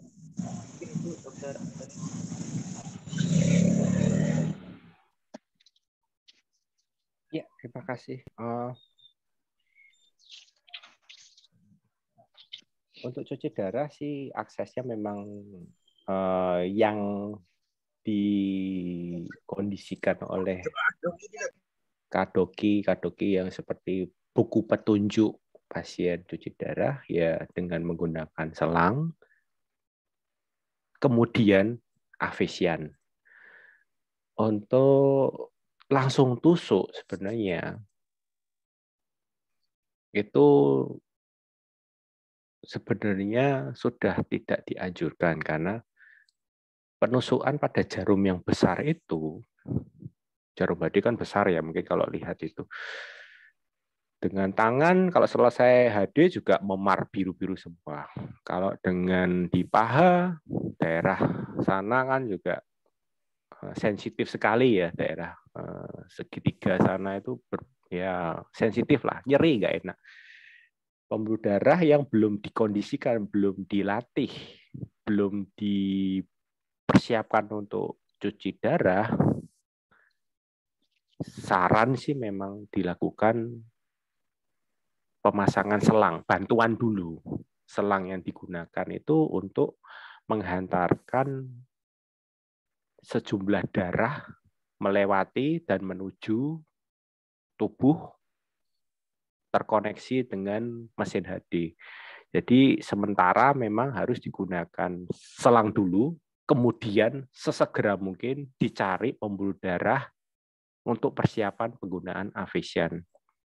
Avesian itu memerlukan waktu sekitar tiga minggu untuk siap ditusuk-tusuk. Kenapa kok ditunggu tiga minggu? Karena dengan hubungan antara disambung antara pembuluh darah nadi yang berdenyut itu disambungkan dengan pembuluh darah balik yang mungkin lebih lemah itu. Jadi biar pembuluh darah yang biasa ditusuk-tusuk, yang biasa dibuat infus itu kuat untuk ditusuk jarum HD yang ukurannya besar. Itu. Jadi apakah langsung ditusuk itu baik? Saya bilang kurang baik. Tapi apakah dilarang sama sekali? Tidak dilarang. Kalau memang tidak ada akses sama sekali, terpaksa dan saat itu harus HD, ya di saat di sana tidak ada dokter yang bisa melakukan pemasangan selang HD dan bila berani masang selang HD tapi juga eh, takut kalau nanti nusuk ke paru, nusuk ke jantung malah nanti ada masalah lanjutan lagi yang hati-hati sekali dunia medis lagi disasar dengan eh, berbagai problema. Ya lebih baik cari aman saja segera konsulkan ke yang mampu menangani pemasangan selang dan bisa menangani komplikasi jika uh, dilakukan pemasangan selang tersebut. Dan nanti sekaligus dilakukan pemeriksaan USG bekas tusukan-tusukan di paha itu bagaimana? Biasanya rata-rata pecah tuh. Hati-hati dengan uh, tusukan di sekitar paha itu. Pembuluh darahnya ya cuma satu itu. Kalau ditusuk-tusuk berulang kali lama-lama pembuluh darahnya yang tidak dipersiapkan akhirnya bisa pecah. Dan kalau pecah itu bengkak, tidak hanya bengkak, satu kakinya itu bisa terjadi pembengkakan hebat dan pembuluh darah di sekitar paha itu kan letaknya sebelahan sama pembuluh darah nadi yang ngasih makan ke satu kaki. Saya pernah nemu kasus sampai ditusuk itu kakinya jadi biru-biru. Biru-biru itu dalam arti tidak hanya memar aja, tapi sampai satu ujung kakinya itu tidak ada detak nadi. Apa yang harus dilakukan? Ya, kita harus selamatkan, jangan sampai diamputasi satu kaki tersebut. Mungkin itu yang bisa saya jelaskan. Terima kasih. Eh, terima kasih untuk Dokter Antonius atas jawabannya. Kemudian ada pertanyaan lagi kepada Dokter Astrid dari Ari. Pertanyaannya adalah, saya mengamati teman-teman yang BBK belum tercapai. Tiap hemodialisis tensinya makin tinggi di akhir hemodialisis. Sedang yang sudah tercapai BPK-nya itu tensinya cenderung turun di akhir HD. Ini kenapa ya, Dok? Mungkin itu Dokter Astrid. Iya, terima kasih pertanyaannya ya. Jadi memang hmm, dinamika komplikasi intra dialisis intra HD itu memang banyak sekali dan memang personal ya, tergantung bagaimana pasiennya, bagaimana kekuatan dari uh, pompa jantungnya, bagaimana pembuluh darahnya, dan bagaimana juga yang tidak kalah penting adalah status nutrisi. Jadi kalau pada pasien-pasien yang BPK-nya belum tercapai atau mungkin masih dalam kondisi overhidrasi, kebanyakan memang uh, seringnya kan kita tuh target tuh ya pengennya tarik sebanyak-banyaknya supaya kering, cepat kering ya, cepat kering supaya tadi karena kan kalau overhidrasi sesek lah nggak nyaman ya mau jalan aktivitas mau tidur susah. Jadi jadi kayak ada satu target berarti kalau harus ditarik segera mungkin seberapa yang pelajari ternyata kalau tariknya sesuai dengan itu kalau banyak ya bisa pengaruh buruk. Karena tadi UF yang tinggi tubuh itu kan dia uh, eh, HD itu bisa ngambil cairannya itu dari yang intravaskuler atau yang plasmanya Sedangkan kalau pasien overhidrasi itu kebanyakan cairannya berada di interstisial. Untuk bisa masuk ke dalam intravaskular atau dalam pembuluh darah, nah dia itu butuh waktu. Jadi kalau misalnya udah diambil cairannya di intravaskular, jadi kan kayak vakum tuh, akan ngisi tuh memang ke dalam uh, apa akan berpindah cairan dari interstisialnya ke intravaskular atau ke dalam pembuluh darah. Tapi dia butuh waktu untuk bisa menarik itu. Nah, karena butuh waktu, kadang suka pasien jadinya hipotensi intradiabetik kompensasi ya. Kalau kayak gini ada mekanisme kompensasi lain yang disebut dengan parasimpatik nerves-nya. Jadi akan meningkatkan dari heart rate ke uh, apa uh, denyut jantung supaya bisa nih uh, lebih cepat kontraksinya menyeimbangkan atau menstabilkan lagi dari tekanan darah. Nah, itu bisa membuat akhirnya tekanan darahnya menjadi lebih tinggi. Atau tadi karena ada kemungkinan hipotensi, pemberian uh, dialisat yang uh, natriumnya ditambahkan. Itu bisa bikin jadi uh, kom, apa kompensasi dari tubuh ya, membuat menjadi uh, hipertensi gitu. Jadi tetap kita lihat lagi sih kalau kita amati memang harus kembali lagi ke pasiennya gitu. Mungkin ada hal-hal di luar itu yang bikin jadi pasiennya kenapa kok jadinya ngedrop, kenapa yang satunya kok jadinya tensinya malah naik gitu. Bisa saja mungkin uh, pasien-pasien ini juga penggunaan obat-obat.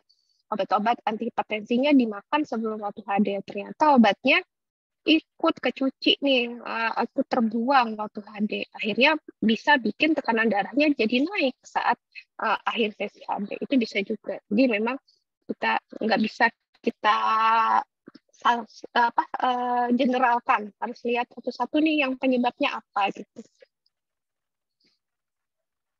Begitu. Terima kasih dokter Asid untuk jawabannya. Semoga itu bisa menjawab ya dari pertanyaan tadi. Kemudian kita lanjutkan ke pertanyaan dari uh, ditujukan untuk dokter Sarwono.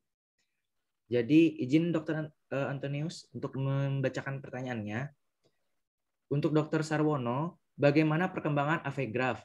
Apakah bisa jadi solusi untuk para pasien HD yang aksesannya sudah kehabisan lokasi? Apakah sudah ditanggung BPJS? Setahu saya Jakarta ada beberapa teman udah bisa operasi Avegraph dengan BPJS. Kemudian satu lagi pertanyaannya, eh, dokter, tensi saya cenderung rendah. Bagaimana caranya supaya tidak mengganggu akses Cimino? Dan perawatan yang saya yang seperti apa. Karena saya sudah empat kali operasi Cimino dua kali gagal satu kali berhasil dan sudah dipakai selama tujuh tahun. Tapi bengkak dan hilang desiranya sekarang sedang dibuatkan di lengan atas kanan. Mungkin itu pertanyaannya dokter.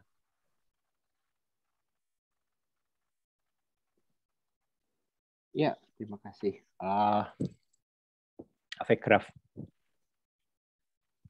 Avegraph itu ya seperti pembuluh buatan, bentuknya seperti polipropilin, seperti sedotan tapi lebih lentur, model kayak silikon seperti itu.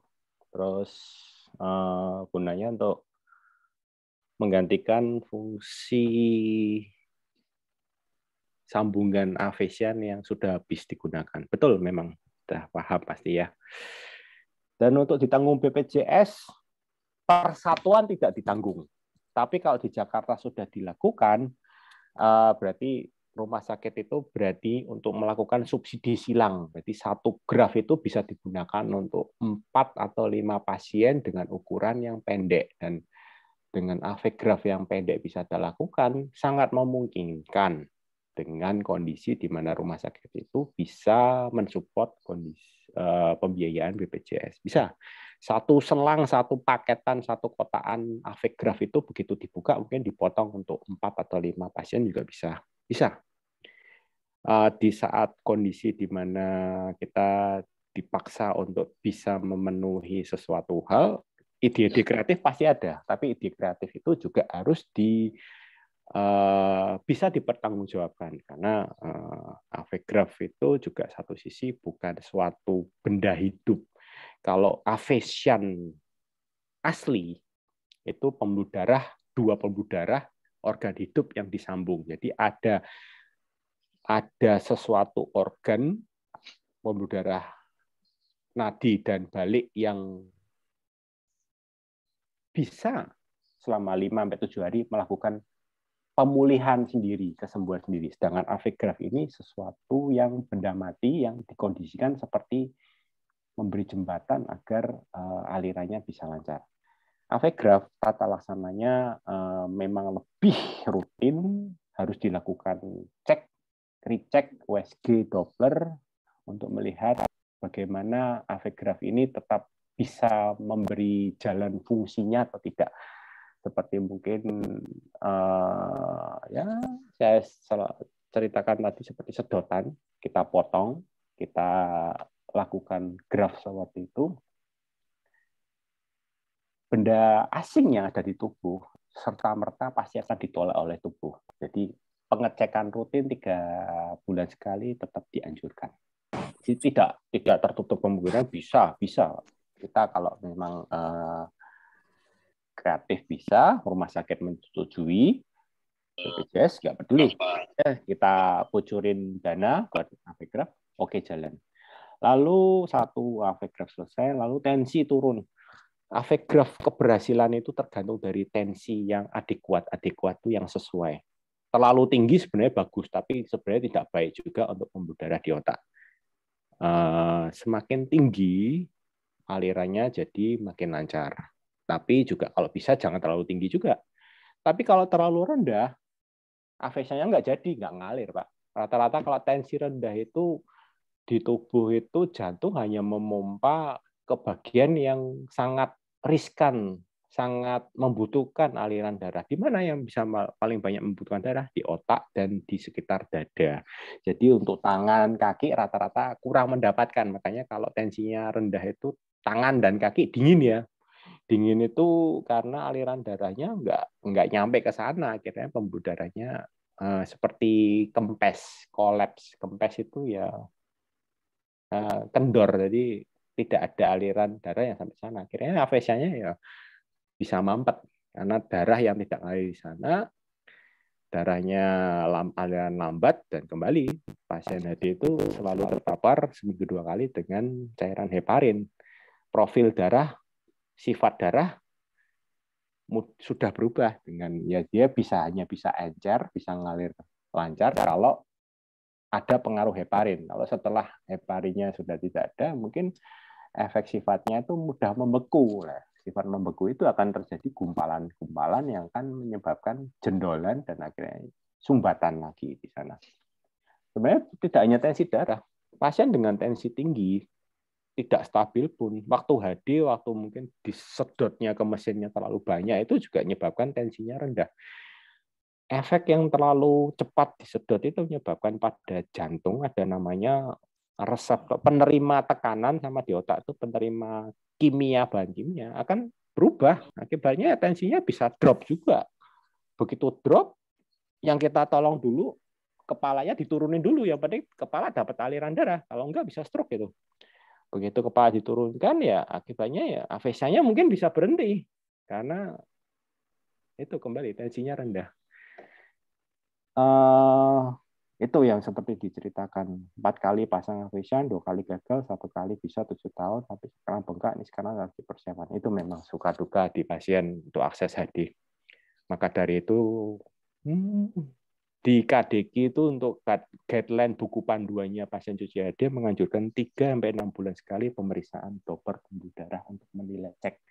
Lebih baik dicek menghindari lebih awal sedini mungkin karena sering ketemu itu nanti banyak ilmu yang bisa didapat baik pasien maupun penunggu pasien bisa sharing-sharing jadi bisa dapat pengalaman untuk tubuh sendiri. Dari saya itu aja. Terima kasih. Terima kasih untuk Dr. Antonius atas jawabannya ya, untuk jawaban yang sangat panjang tadi. Mungkin itu ada juga menjawab beberapa pertanyaan yang hampir mirip yang ditanyakan oleh peserta webinar yang ada di sini. Kemudian pertanyaan selanjutnya ditujukan untuk Dr. Astrid. Jadi untuk Dr. Astrid, siang dok. Pertanyaan pertama, untuk klasifikasi IDWG, apakah juga berlaku untuk pasien yang hemodialisisnya dua kali seminggu? karena tentu sangat berat bagi pasien berbadan besar atau berat untuk membatasi IDWG 1 kilo per hari. Per, per hari. Kemudian pertanyaan kedua, untuk percobaan dry weight reduction atau mencoba menurunkan dry weight sebaiknya dilakukan setiap berapa lama? Karena pada pada prakteknya umumnya perawat akan menyamakan target berat pos HD sama dengan uh, mungkin ini pre pos HD sama dengan pos HD sebelumnya. Padahal belum tentu itu sudah mencapai dry wake. Uh, alhasil setelah beberapa waktu cairan terakumulasi di pleura bahkan paru. Uh, dan sering kali menyebabkan pasien itu drop dan selalu diasumsikan berat kering naik. Padahal berat kering pasien HD nggak semudah itu naik. Mungkin itu dok. Terima kasih. Uh, iya, ter terima kasih dok. Jadi untuk tadi ya klasifikasi DWG itu itu berlaku juga dok untuk HD yang dua kali seminggu ataupun HD tiga kali seminggu. Pada HD yang dua kali seminggu memang PR-nya lebih berat ya karena kan HD-nya atau jarak antar HD-nya lebih panjang dibandingkan yang tiga kali seminggu. Kalau tiga kali seminggu kan bisa dua hari sekali dia kemudian melakukan HD. Kalau yang tiga kali uh, dua kali uh, tiga hari ya dok, jadi jaraknya panjang sehingga memang uh, pembatasan cairannya lebih ketat pada yang dua kali seminggu dibandingkan tiga kali seminggu. Kita lihat di situ kan di rumusnya dia dibagi dengan berat badan dok, jadi tetap dia persentasenya sesuai dengan berat badan gitu uh, amannya yang bisa diterima adalah 5% dok dari berat keringnya. Tadi kenapa sih harus IDWG-nya segitu ya tadi supaya UF goalnya atau UF rate-nya nggak terlalu tinggi gitu. Uh, kita lakukan sehingga sesi HD-nya nggak terlalu berat karena kalau misalnya UF-nya tinggi harus ngikutin itu komplikasi post HD-nya tuh sering terjadi ya tadi salah satunya yang disebutkan jadi kram-kram gitu atau pegal-pegal gitu dok. Jadi memang tetap pembatasan cairannya perlu sekali walau pada yang kering eh, pada berat badan yang kecil ataupun yang besar. Kemudian yang tentang uh, dry wet dok. Jadi dry wet itu disebutkan bahwa kita tidak bisa memang mencapai langsung saat itu. Oh, mesti bertahap.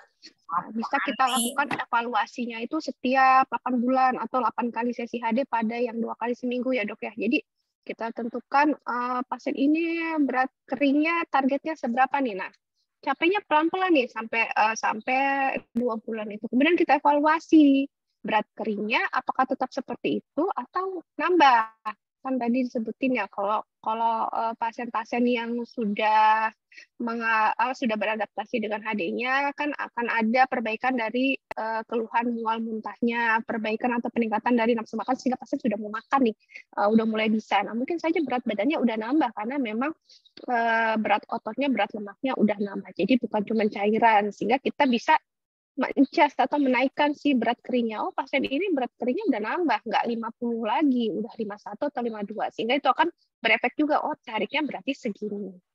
Kembali lagi dok, dilihat uh, ada bengkak apa tidak, gitu. Tidak ada bengkak. Nah kan tadi disebutin yang secara visual memang mudah dilakukan ya lihat ada bengkak-bengkak nggak bengkak-bengkak yang di perifer ya di kaki di tangan di kotak mata gitu kan Cuman kayak kayak yang di cairan yang ada di paru gitu atau ada efusi pleural agak susah kita menilai kecuali dilakukan pemeriksaan lebih uh, lebih dalam lagi atau lebih lama lagi gitu.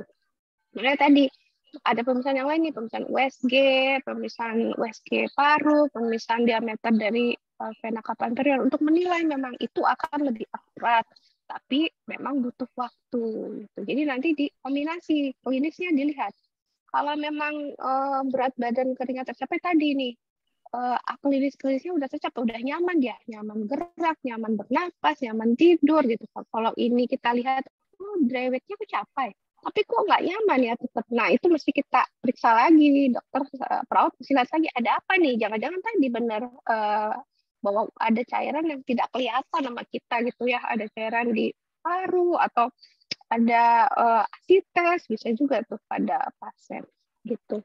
Uh, mungkin satu lagi ini menyambung juga ya bahwa gimana kalau UF-nya tariknya banyak tapi pasiennya hipotensi ada atau ada gangguan jantung. Ya tadi lama HD-nya diperpanjang supaya bisa tariknya lebih uh, lebih pelan atau sisi HD-nya ditambah dua kali jadi tiga kali gitu. Tapi kalau semua kita udah bisa udah kita lakukan nih dok gitu. Misalnya beratnya nggak bisa apa berat badannya nggak bisa kecapai selalu overhidrasi. Ditambah lagi ternyata ini apa alvesannya susah suka mati. Udah berapa kali ada ada tadi uh, yang empat kali ya avesannya dipasang gitu. Nah, itu perlu kita pertimbangkan apakah hemodialisis pilihan untuk pada uh, pasien ini atau pada ibu dan bapak. Karena pada pasien penyakit ginjal terapi pengganti ginjal itu tidak hanya hemodialisis kita punya tiga satu adalah transplantasi ginjal atau cangkok ginjal yang kedua yang populer memang di dunia adalah hemodialisis.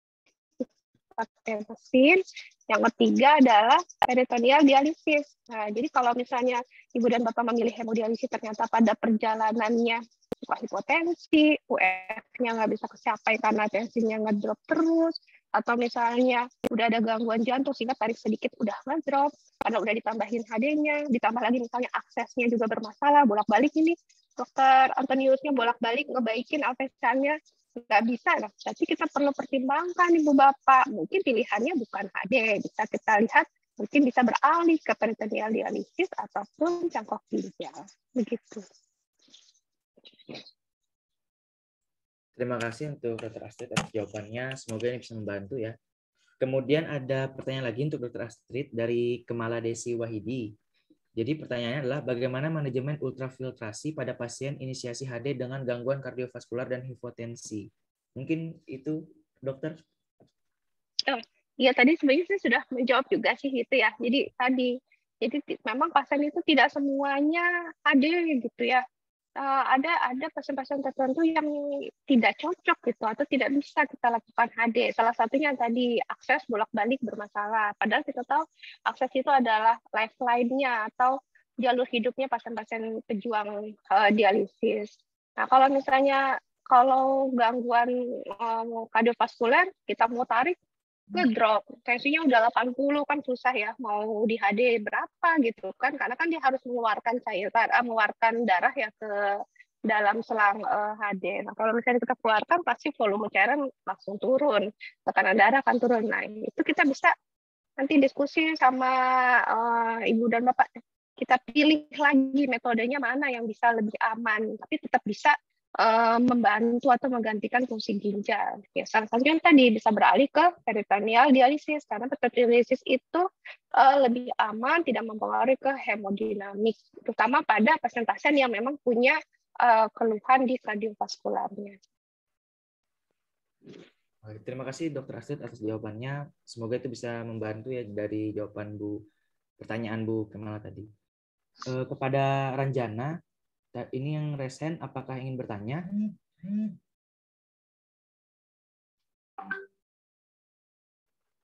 Kepada Ranjana?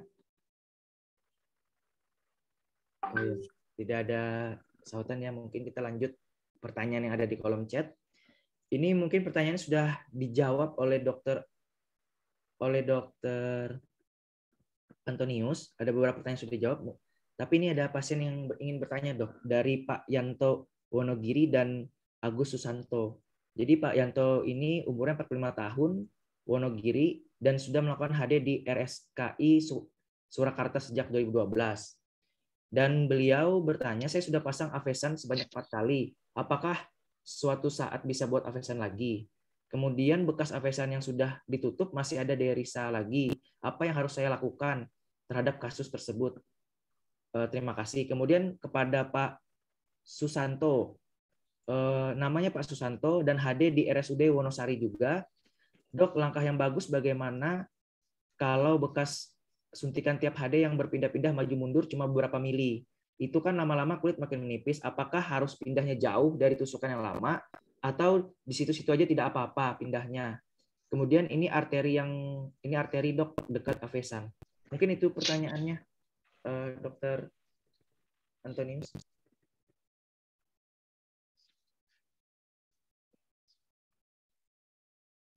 Oke, untuk Pak Yanto, uh, bekas pemasangan Avisan apakah bisa masih dipasang lagi? Uh, kita anjurkan, Bapak di Surakarta, di Solo banyak tuh dokter yang uh, ahli pemasangan Avision. Uh, saya anjurkan untuk datang ke dokter tersebut lakukan pemetaan karena Doppler itu seperti melihat peta, melihat pembuluh darah apa yang tersisa yang masih bisa kita optimalkan. Jika masih bisa kita optimalkan, kita pasti optimalkan sebelum penggunaan Avegraph. Karena Avegraph satu sisi biaya mahal, BPJS agak rumit, dan mungkin perawatannya agak lebih rumit. Nah, kita gunakan pembuluh darah itu bisa menggunakan dari kaki juga. Kita pindahkan. Bisa, semuanya bisa Uh, tetap kita evaluasi dulu. Kita lakukan Doppler, pemeriksaan USG, kita nilai mana pembuluh darah yang masih tersisa, mana yang bisa kita optimalkan, mana yang bisa kita bypass. Bypass itu seperti buat jembatan layang. Mungkin kalau pernah tahu operasi jantung, karena kita BDKV juga ngerjain operasi jantung, bypass jantung, bypass itu pembuluh darah yang dari kaki dipindahkan ke jantung untuk memberi aliran darah. Itu juga kita lakukan di bypass di pembuluh darah vaskuler juga tapi tetap kita evaluasi, kita uh, ajarkan ke pasien, kita edukasi lah ibaratnya, kita informasikan bahwa di misalnya di tangan udah habis nih, apa yang harus dilakukan? Ya nanti kita ambil dari kaki, kita lakukan bebas jembatan layang, bisa, itu semua bisa, hmm, tinggal ide kreatifnya kita. Dan pasien mau karena yang kita lakukan itu semua seizin pasien dan inform medis, inform consent, inform informasinya juga harus diberikan secara total, baik buruknya. Lalu untuk Pak Susanto, bekas tusukan, nanti kulitnya kering apa gimana? Kalau nanti mungkin disebutkan oleh dokter Astrid bahwa pasien hati rata-rata kulitnya kering memang. Dan lebih ke kulitnya seperti ya serpihan kulitnya banyak. Uh, sebenarnya bukan kulit yang diper yang harus kita pikirkan, tapi yang suatu organ yang lebih di bawah kulitnya, di pembuluh darahnya sendiri. Dengan tusukan yang berpindah-pindah, itu menyebabkan pembuluh darah itu, seperti yang saya sebutkan sebelumnya, memberi waktu bekas tusukan sebelumnya, bekas tusukan kan luka ya, luka itu akan pulih dalam waktu 5 sampai 7 hari. Jadi kalau ditusuk di tempat yang sama berulang kali, akan terjadi pertumbuhan jaringan parut, jaringan sikatrik itu yang akan menyebabkan sumbatan pembuluh darah akhirnya tidak awet. Eh, Dengan berpindahnya tusukan seperti yang saya sebutkan seperti ini. Pasien saya rata-rata 13 tahun paling lama itu selama saya bekerja di universitas ini. Mungkin itu yang bisa saya informasikan dengan Avisan di sini jadi dapat ilmu lagi mungkin ya ajak teman lah biar bisa memahami bisa satu kata untuk uh, tata laksana perawatan Avisian ini. Dari saya itu terima kasih Pak. Terima kasih Dokter Antonius atas jawabannya. Uh, satu pertanyaan lagi dari mungkin Bu Kamala Desi ingin bertanya ya. Dipersilahkan Ibu. Uh, baik dok, terima kasih atas kesempatannya. Perkenalkan, saya Kemala Desi uh, sebagai praktisi di HD Rumah Sakit Jantung Harapan Kita. Saya ingin bertanya kepada Dr. Antonius dan Dr. Astrid. Uh, untuk Dr. Antonius, uh, selain dari upaya memindahkan area penusukan, uh, upaya pencegahan terjadinya trombosis dan uh, pada ekstremitas sepanjang avation itu apa saja ya dok ya yang bisa kita upayakan. Kemudian untuk dokter Astrid, eh, memang uh, suatu tantangan bagi kami hemodialisis dengan masalah kardiovaskular ini adalah terjadinya hipotensi pada pasien-pasien kami. Nah, dari literatur yang saya baca, salah satu upaya untuk mencegah terjadinya hipotensi itu adalah dengan menggunakan lower dialisat atau menurunkan suhu dialisat. Nah, eh, banyak penelitian yang menyatakan bahwa tindakan itu efektif, begitu dok. Tetapi eh, hal ini jarang sekali digunakan di eh, unit-unit uh, HD di Indonesia. Kira-kira yang menjadi kendalanya apa ya dok? Kalau kita lihat kan uh, aplikasinya sangat mudah dan risikonya sangat minimal seperti itu. Barangkali itu saja. Terima kasih atas kesempatannya. Selamat siang. Oke, terima kasih kepada Bu Desi. Mungkin bisa dijawab dari uh, Dr. Antonius dulu, dok. Uh,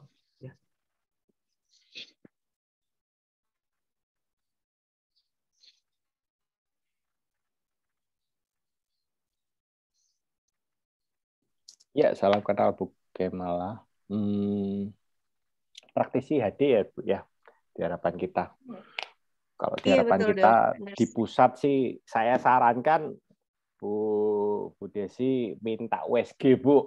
Nah, di sana kan ada bagian vaskuler juga bisa belajar tombolologi juga. Jadi waktu tidak hanya titik penusukan, tapi bagaimana menusuknya pas.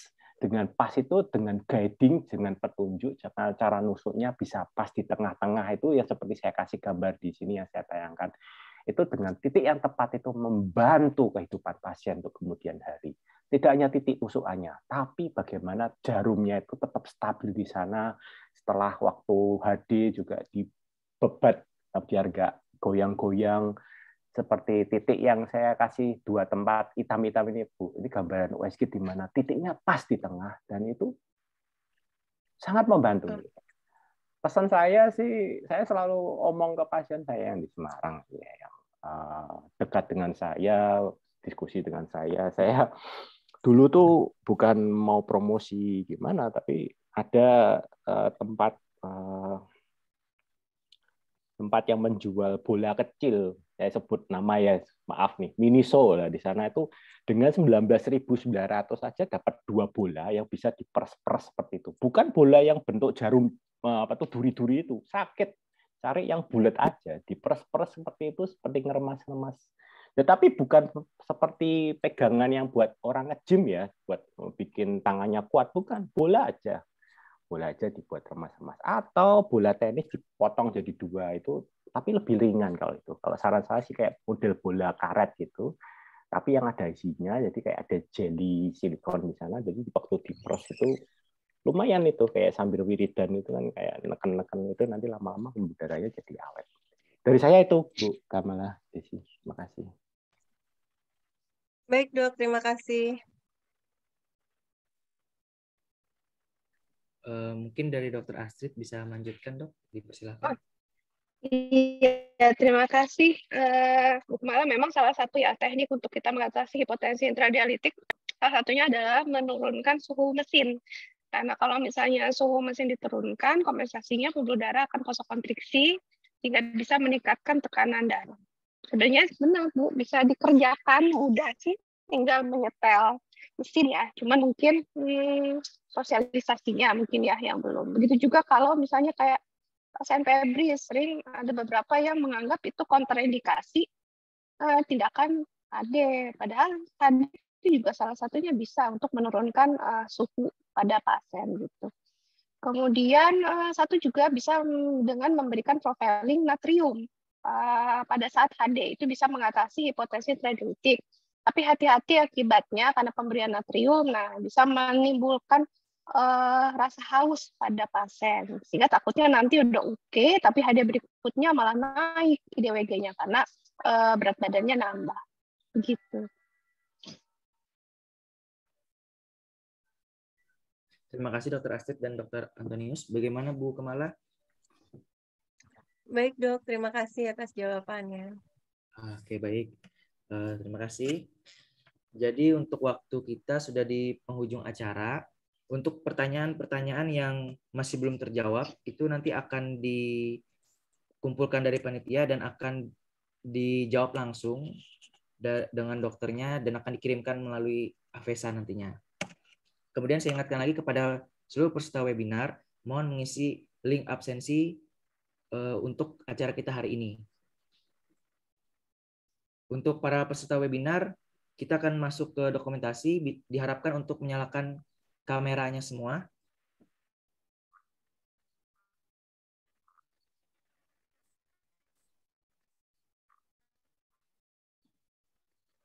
Bagi peserta webinar yang tidak berhalangan, saya ingatkan lagi bisa menyalakan kameranya terlebih dahulu ya untuk dokumentasi.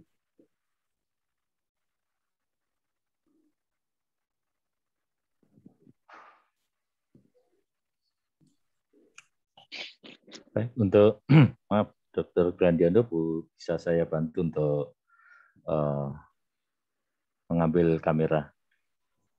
Baik, para peserta mungkin bisa eh, dibuka sejenak kameranya kita akan sesi dokumentasi.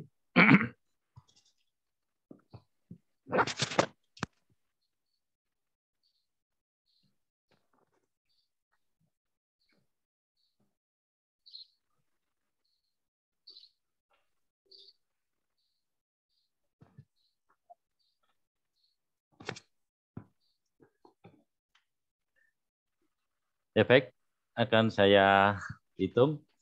Untuk halaman pertama, satu, dua, tiga. Baik, eh, ada lima halaman ya. Ini halaman kedua, satu, dua, tiga.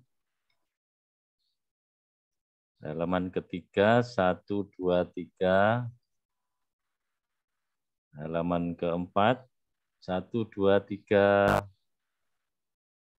Halaman terakhir kelima, satu, dua, tiga. Baik, terima kasih. Uh, sebagai penutup acara, mungkin Dokter Niko ada sedikit closing statement. Kami persilahkan, Dokter. Terima kasih.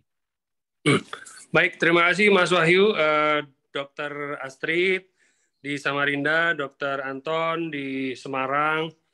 Terima kasih atas kesediaannya. Mudah-mudahan menjadi hal yang bermanfaat buat pasien-pasien kita dan tentu uh, masyarakat di seluruh Indonesia. Uh, jangan kapok-kapok, Dokter Anton, Dokter Astrid, dan bagi para peserta, terima kasih sudah berkenan hadir sampai saat terakhir ini. Nanti kita akan lanjutkan kegiatan Avision webinar di topik yang selanjutnya. Saya yakin topik selanjutnya juga topik yang up to date, topik yang memang banyak ditanyakan oleh uh, masyarakat dan uh, pemerhati uh, akses uh, dan juga uh, kesehatan ginjal. Uh, tetap ikuti informasi di uh, Instagram Avisan Indonesia. Uh, mudah-mudahan kita bisa bertemu di lain kesempatan. Sekian, terima kasih. Wassalamualaikum warahmatullahi wabarakatuh. Waalaikumsalam warahmatullahi wabarakatuh. Terima kasih, Dr. Niko. Terima kasih. Terima kasih, Dr. Anton. Terima kasih, Dr. Astrid dan juga Dr. Grandiano. Terima kasih Terima banyak. kasih para Terima peserta. kasih, Pak Wahyu, Ya, Pak Dr. Kasih. Semoga bermanfaat. Waalaikumsalam.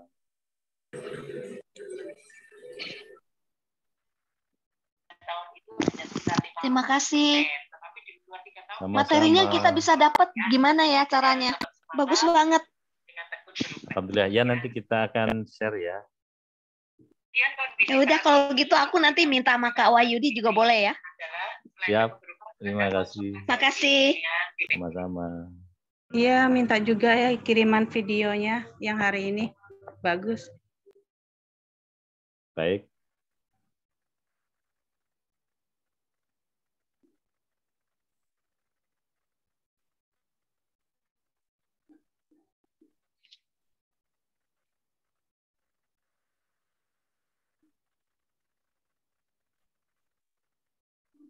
Oh ya, mungkin untuk informasi tempat praktek Dokter Anton ya. Mohon izin Dokter Anton adalah spesialis BTKV ya. Ya, di Rumah Sakit Telogoreja ya.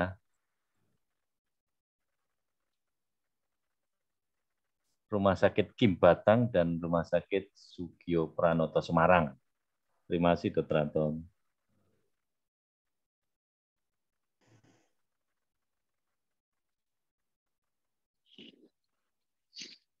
Uh, Mas Wahyu, terima kasih banyak. Uh, Dr. Gandio, Dr. Antonius, Dr. Niko, dan Ibu dan Bapak sekalian, saya mohon izin lip ya.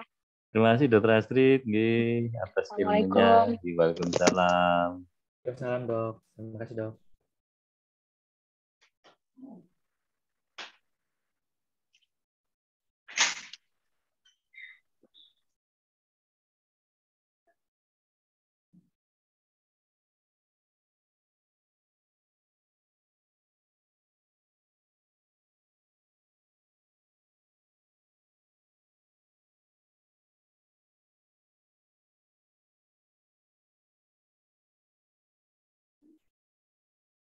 Baik, terima kasih para peserta webinar. Selamat eh, beristirahat dan sampai berjumpa kembali di episode webinar Avisan Indonesia berikutnya. Terima kasih.